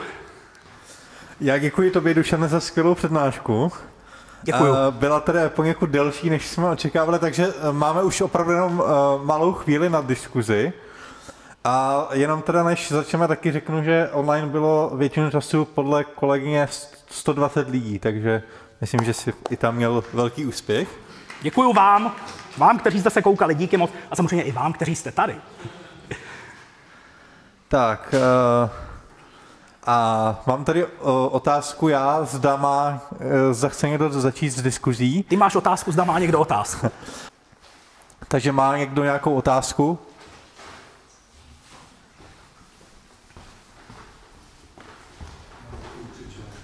E, to je na záznam, prosím. Já jsem se chtěl zeptat, na začátku jste říkal uh, o změnách dvou řádků uh, v tom kódu Starlinku. Co to udělalo, ty změny? Uh, zajistilo to jejich uh, složitější napadnutelnost, bez nějakého bližšího upřesnění, aby se prostě do toho systému nedalo tak jednoduše vlámat. Ale z logických důvodů nebyly uvedeny žádné bližší detaily. Děkuji. Další otázky? Nejsou-li, tak máme spoustu otázek na chatu. Teď bude trošku problém vybrat jenom některé, ale dobře, tak začneme třeba... Snad se nikdo neurazí, že ta jeho tam nebude. A, protože jsme omezení časem, tak dáme přednost asi těm, které se týkají přímo toho, o čem jsme mluvili v přednášce. Takže je tady otázka, zda má koncept volně letících kosmických teleskopů nějaké zásadní výhody oproti umístění na odvrácené straně měsíce, Eh, nebo je budoucnost astronomie spíše právě na měsíci? Mm, současné době uh, nejsme schopni na měsíc dopravit žádnou velkou technologii, takže do budoucna možná, ale těžko, těžko soudit, co bude za 10, za 20 let, jak, jaké pokroky udělá technologie, ale zatím je stále jednodušší dostat ten teleskop do vesmíru, na oběžnou dráhu, třeba země, nebo eh, do nějakého libračního bodu, než s tím přistávat na měsíci, protože to je zase energeticky mnohem náročnější. Samozřejmě má to určité výhody, třeba nějaký radioteleskop, který by se udělal v nějakém kráteru na odvrácené straně měsíce, by měl svoje výhody, ale zatím je to mimo technologické možnosti lidstva. O tomhle jsme už trochu mluvili, ale jestli k tomu chceš ještě něco doplnit, je tady otázka na ten incident s mikrometeoroidem. Zda už došlo na nějaké další eh, podobné události a zda není tento v uvozovkách nahý systém moc riskantní. Riskantní je, rozhodně, ale zase, kdyby jsme kolem webova teleskopu, kolem jeho zrcadla udělali nějaký ochranný tubus, tak to zase zkomplikuje jeho skladnost, eh, zvýší to jeho hmotnost a to riziko bylo vyhodnoceno jako dostatečně nízké na to, aby byl tenhle ten design schválen. A to, že ano, došlo k několika kolizím, ale pouze jedna z nich byla větší, než se očekávalo, takže celkově, kdyby se všechny ty následky těch kolizí sečetly, tak jejich společné účinky byly nižší, než co se v téhle fázi mise předpokládalo, jak na tom teleskop bude. Tak a ještě tady máme k webu, vidím jednu otázku. Eh, pamatuji se dobře, eh, že na systému mikrozávěrek měla malý podíl Česká republika? Pokud se nepletu, tak by tomu tak mělo být. Díky.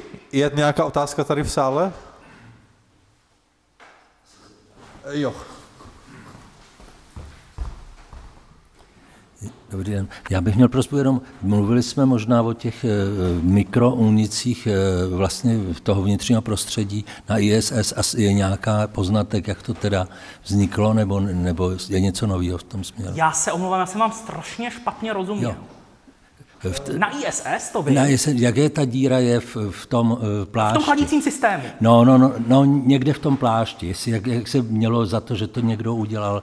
Že to je to, něco jiného. To je úplně něco to, jiného. No, to, no, to no. už je několik let starý. A tam je nějaký pokrok nebo uh, není? Je, ale moc o tom nevíme, protože vyšetřovací komise uzavřela svou práci a Dmitrij Rogozin, který tehdy byl ještě šéfem Roskosmosu, tak řekl, že výsledky zveřejňovat nebude.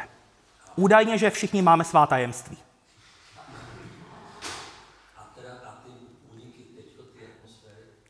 Neunikla atmosféra, uniklo chladící médium a tam eh, v nejbližších dnech opravdu očekávám příští týden třeba, že by mohlo definitivně padnout rozhodnutí, jestli je Sojus MS-22 schopen nebo neschopen bezpečného návratu. Na základě toho by se přistoupilo třeba k urychlení startu Sojuzu MS-23, který má startovat v březnu, takhle by mohl startovat třeba v únoru, letěl by bez posádky a v něm by se ti tři muži vrátili, aby Sojus MS-22 odletěl bez posádky a neriskovalo se třeba jejich bezpečí, protože ta loď je připojená ke stanici, využívá klimatizačních systémů stanice a přesto v návratové kabině roste teplota na 27 až 30 stupňů, což je zhruba dvojnásobek běžných hodnot.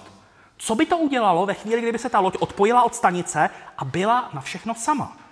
Samozřejmě ty chladící systémy jsou zálohované, jich tam víc, ale stejně odešel vám celý jeden okruh a ty další pak můžou být přetížené a může to vést ke kaskádovému efektu.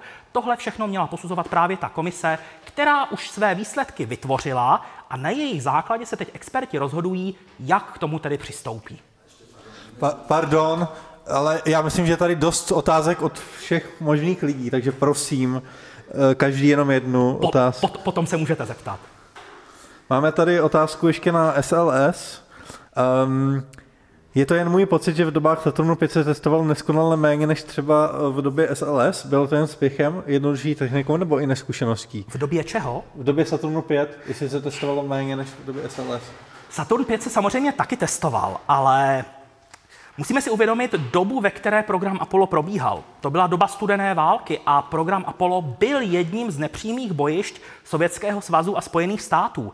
To znamená, dostat člověka na měsíc byl úkol, na kterém obě dvě strany se snažily trumfnout. To znamená, společnost tehdy byla nastavená úplně jinak než dneska. Dneska jsme vyměkli v tom směru, že bychom nedokázali akceptovat tak vysokou úroveň rizika, jakou akceptovali tehdy. Dneska by smrtelná nehoda programu Apollo, srovnatelná třeba s Apollem 1, znamenala zastavení toho programu minimálně na pět let, vytvoření deseti vyšetřovacích komisí, protože dneska ztráta lidského života by měla mnohem větší dopady. Tehdy by to prostě No, ne, ne by, tehdy se to skutečně stalo. Tehdy se to bralo jako přirozená součást rizika. Podobně jako když třeba Kolumbus vyplul na objevitelskou cestu a mnoho dalších, tak se to prostě akceptovalo, jako že posouvají hranice a nemusí to výjít. Dneska už je ta společnost nastavená úplně jinak a proto se všechno víc testuje. Trvá to díl, stojí to víc peněz, ale odměnou za to je mnohem vyšší spolehlivost techniky. Naschledanou. Na vida. Tak a myslím tak. si, že máme rozhodnuto. Zapneme všechno Tak ne. a můžeme pokračovat ještě půl Můžeme, můžeme pokračovat. Výborně. Všechno je zachráněno. Tak, eh, další otázka se týká zase eh, programu Artemis. Kolik misí Artemis je v plánu? Neomezeně zatím. Není tam žádný strop, který by řekl, dám příklad, mise Artemis 10 a konec. Eh, Už jsou uzavřené dohody na výrobu některých dílů, jejichž výroba trvá dlouho, až do mise Artemis 15. To znamená, program Artemis tady s námi bude hezkých pár let, pokud samozřejmě jej nezruší politici. Ale protože je to mezinárodní projekt, tak ty se z vlastní podstaty ruší hůř. Děkuji. Ještě nějaká otázka tady v sále? Ano, Petře? Eh, Nemyslíš si, že vlastně program SLS eh, je sice krásná raketa, ale přece jenom přišla o několik desetiletí později, než by měla přijít?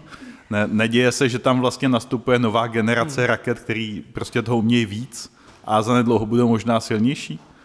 Asi narážíš na Super Heavy Starship. Uh, tuhle tu otázku dostávám docela často a je naprosto logická. SLS není znovu použitelná, ale v současné době není žádná jiná raketa schopná dopravit kosmickou loď s posádkou k měsíci. Co bude třeba za pět let, že tady bude Super Heavy Starship, eh, to možné je. Ale sám Musk se vyjádřil, že než do Super Heavy Starship usednou první lidi, tak ten systém za sebou bude muset mít stovky startů bezpilotních. Což samozřejmě chvilku potrvá. Tím se dostáváme někam k roku 2030. Do té doby si myslím, že raketa SLS může udělat dost zajímavý práce. A ještě jeden pohled uh, mám, který říká, že raketa SLS má svůj důvod. NASA potřebuje něco vlastního. Nemůže se spolíhat jenom na, uh, ať už je to SpaceX nebo jakýkoliv jiný soukromý firmy. Kdyby SpaceX zkrachovala a NASA neměla nic vlastního, tak uh, by to pro ně byl ho- hodně velký problém, protože by ten vývoj nové techniky trval mnoho let. Ale takhle, když má NASA svou vlastní techniku, tak eh, není závislá tolik na těch vnějších atributech. No a ještě tady poslední pohled, a to je pohled politický. Eh, SLS je projekt amerického kongresu. Ten eh, kongresmeni po konci programu raketoplánu dostali strach, že ty jejich státy, které se podílely na výrobě dílů pro program raketoplánu, takže přijdou zkrátka. Ostatně ta infrastruktura je rozdělená prakticky ve všech státech USA, proto ty přesuny jsou komplikovaný ale zase na druhou stranu přijdou si na, na svý všichni. Že ve všech státech Spojených států se vyrábí něco pro SLS, pro Orion a díky tomu má, i když není znovu použitelná, tak má raketa SLS význam z tohohle hlediska, že zajišťuje lidem práci a mnohý americký státy se nevylidňují z nich mozky. Takže tohle to jsou důvody technický, politický. Není, nedá se říct, že by jeden důvod byl důležitější. Je to prostě soubor několika důvodů, který ve výsledku vytváří to, že raketa SLS má svůj důvod, podle mého názoru. Díky. Další dotazy? Tak se podívám tady ještě do chatu. Ehm, je tady taková trošku spekulativní otázka, jestli nevadí. Můžeme to zkusit. V kongresu už, by, už prý byla napůl schválená výprava na Mars, měla být v roce 1980. Sešlo z ní kvůli výdejům na větnamskou válku. Z hlediska dnešních poznatků mohla by být úspěšná. A ještě tady je v podstatě doplňující otázka teda od někoho jiného. E, zda by mohla být úspěšná alespoň jednosměrně. Hm. No, já myslím, že na obě dvě otázky se dá odpovědět zhruba stejně, protože technologicky byly hodně podobné. Bylo by to mnohem, mnohem náročnější než celý program Apollo, takže strašně by záleželo na tom, kolik by NASA dostala peněz, kolik problémů, na kolik problémů by narazila při vývoji. Osobně si myslím, že by se ten termín nestihl a potkal by jej odklad třeba o 10 nebo 20 let. A to by se pořád muselo udržet optimální financování a politická podpora. Díky.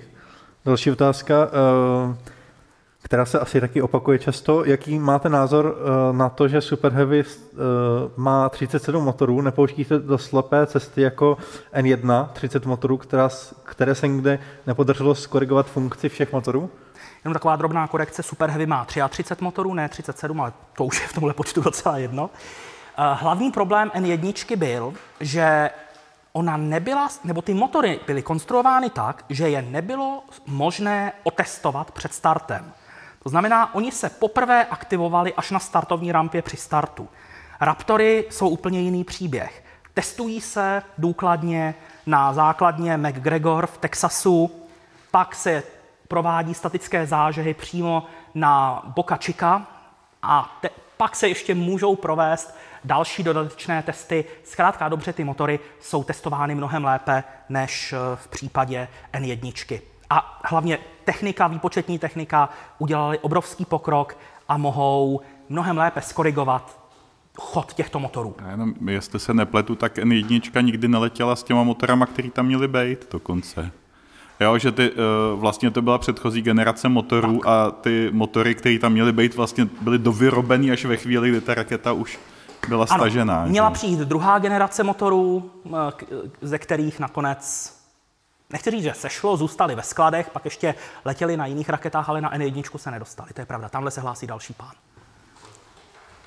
Eh, mohl bych se zeptat, eh, nevíte náhodou, kolik bylo eh, teleskopů Jamesa Webba připravených, kdyby náhodou ten jeden selhal, jestli by měli náhradní jeden nebo dva? Kolik bylo náhradních teleskopů nebo kolik jich bylo celkem? Kolik jich bylo celkem? Jeden. Toho jsem se bál, ale děkuju. ten, co je, ten, co je ve vesmíru. Samozřejmě některé přístroje měly třeba nějaký inženýrský vývojový jednotky pro testy, pro vibrační zkoušky a e, zkoušky v, ve vakuových e, komorách, e, termální testy vibrační, ale vyloženě, že by existovalo to 6,5 metrový zrcadlo s těma vědeckými přístrojema, ne, jenom jeden. Byl teda...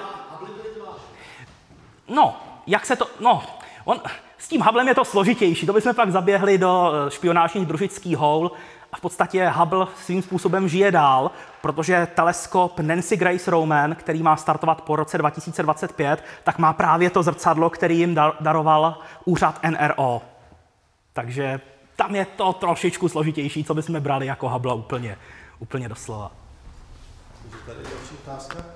Já jsem se jenom chtěl ještě zeptat uh, ohledně uh, Ruska a jejich vývoje, protože tam se zdá, že je totálně mrtvo, aspoň z mého pohledu, uh, nebo hmm. bude konec rozpad Ruska, nebo něco takového, nevím, ale uh, děje se tam něco vůbec, nebo je tam nějaký potenciál? Takhle, uh, v podstatě každý stát, který má kosmonautiku, tak ta kosmonautika se dělí na dvě větve.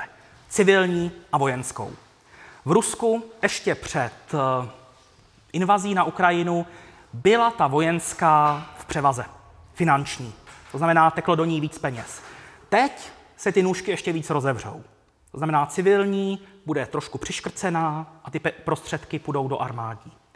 To znamená, Rusko určitě bude v kosmonautice pokračovat, ale většina těch družic, které se budou vypouštět, tak budou třeba souviset se spravodajským sběrem informací a tak podobně.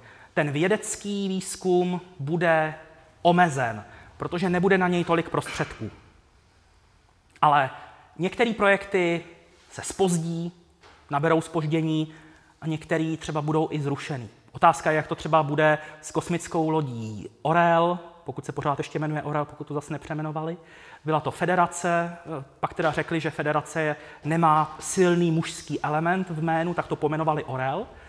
Tahle kosmická loď by měla lítat třeba na Mezinárodní kosmickou stanici, ale třeba i k nějaký stanici u měsíce. Tam je otázka, jak to bude, jestli Rusko vůbec bude schopný postavit nějakou kosmickou stanici u měsíce. Ano, spekuluje o tom, ale technicky za to o tom docela pochybuju. Navázali spolupráci s Čínou, ale ta podepsaná dohoda neříká nic konkrétního. Tam není kdo, co, za kolik, kdy. Lidově řečeno, ta smlouva říká, nebudeme si navzájem házet klacky pod nohy. Čína nepotřebuje Rusko k tomu, aby letěla eh, s lidma na měsíc. Možná sebou vezmou nějaký ruský přístroj. Nebo možná i nějakého ruského kosmonauta. Ale Čína si nikdy, podle mého názoru, nepustí Rusko do strategické pozice. Tak, jako si NASA pustila Evropskou kosmickou agenturu do výroby servisního modulu pro Orion. To je kriticky důležitý aspekt mise. ESA se stala strategickým partnerem, ale tohleto se od Číny vůči Rusku čekat nedá. Takže kosmonautika v Rusku určitě bude pokračovat, ale spousta těch projektů civilních, tak jak je známe, tak třeba je potká několika letý odklad, protože prostě na ten vývoj nebudou prostředky. Ale některé mise budou probíhat. Zmiňoval jsem tady třeba tu Lunu 25, která má startovat v létě. Takže už tu potkal odklad několika letý. Doufejme, že to letos sklapne, protože přes to všechno, co se děje, tak já držím palce všem vědeckým kosmickým sondám. Děkuji. Další dotazy? Máme tady takovou trošku specifickou otázku. Zda jsou lety na, Ori- na Orionu poslední nebo jediné použití motora AE10 a jaká je vlastně jeho historie? tak do historie se pouštět nebudu, protože to bychom tady byli dlouho. Ale eh, nejsem si jistý, jestli se chystá nějaké další použití tohoto raketového motoru. Osobně o žádném asi nevím. Takže tak. Děkuji. Další otázka. Vzrůstá počet CubeSatů. Lze vůbec sledovat jejich dráhy, aby se z nich nestalo smechí ohrožující budoucí posádky na oběžné dráze Země? Eh, sledovat se to nejen, že dá, ale také se to děje. Eh, dokonce, když se vypustí větší množství CubeSatů, tak se čeká třeba několik dní, než se na té oběžné dráze rozptýlí, aby bylo možné konkrétní CubeSat identifikovat. Ty CubeSaty jsou dost velké na to, aby byly ze Země zaměřitelné a jejich oběžná dráha je průběžně sledována.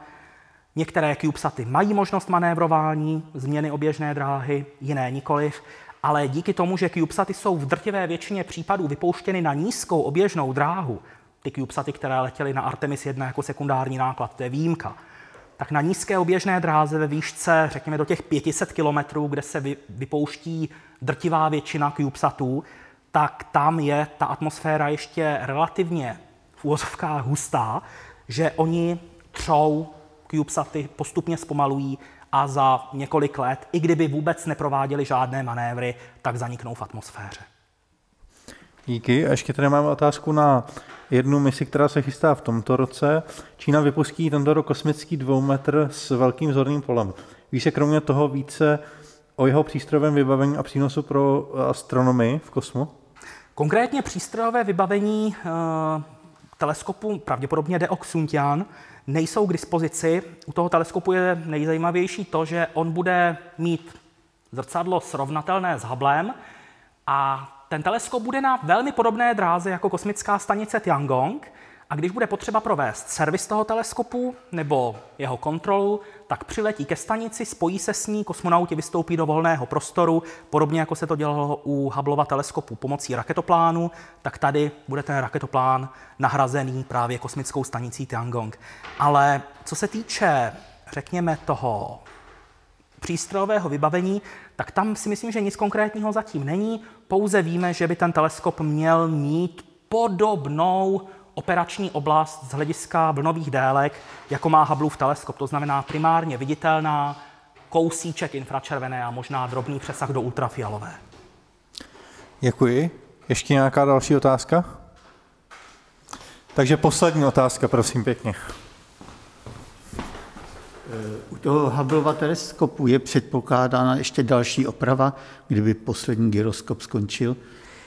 No, oprava zatím přímo ne, ale NASA se rozhodla využít v loňském roce nabídky ze strany firmy SpaceX, která se nabídla, že by mohla zkusit pošoupnout Hubbleův teleskop na vyšší oběžnou dráhu.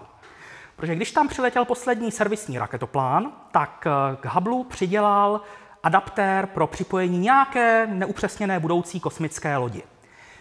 Toho by se teoreticky dalo využít. A zatím to není schváleno, zatím je to pouze ve fázi studie proveditelnosti. Ale pokud by se ukázalo, že to SpaceX dokáže, to znamená, pošoupla by ten Hubble na vyšší oběžnou dráhu, tak NASA by třeba mohla být ochotná ke schválení nějaké další mise, která už by třeba mohla obnášet nějaký servis.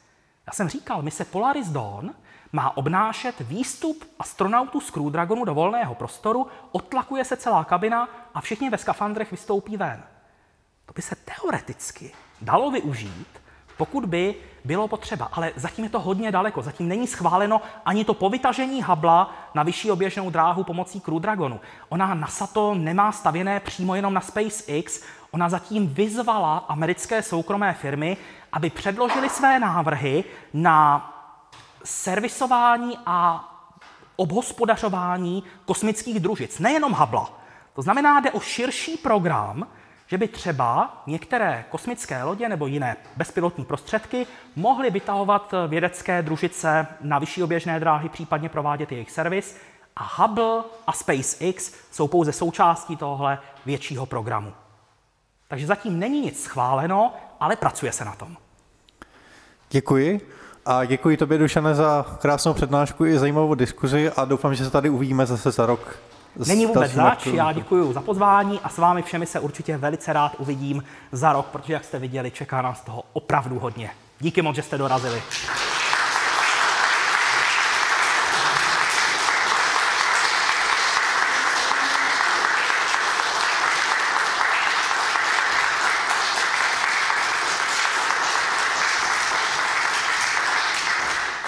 Děkuji vám moc. Tak a děkuji všem, kteří se nás dívali online a loučím se s vámi a za týden se těším na viděnou.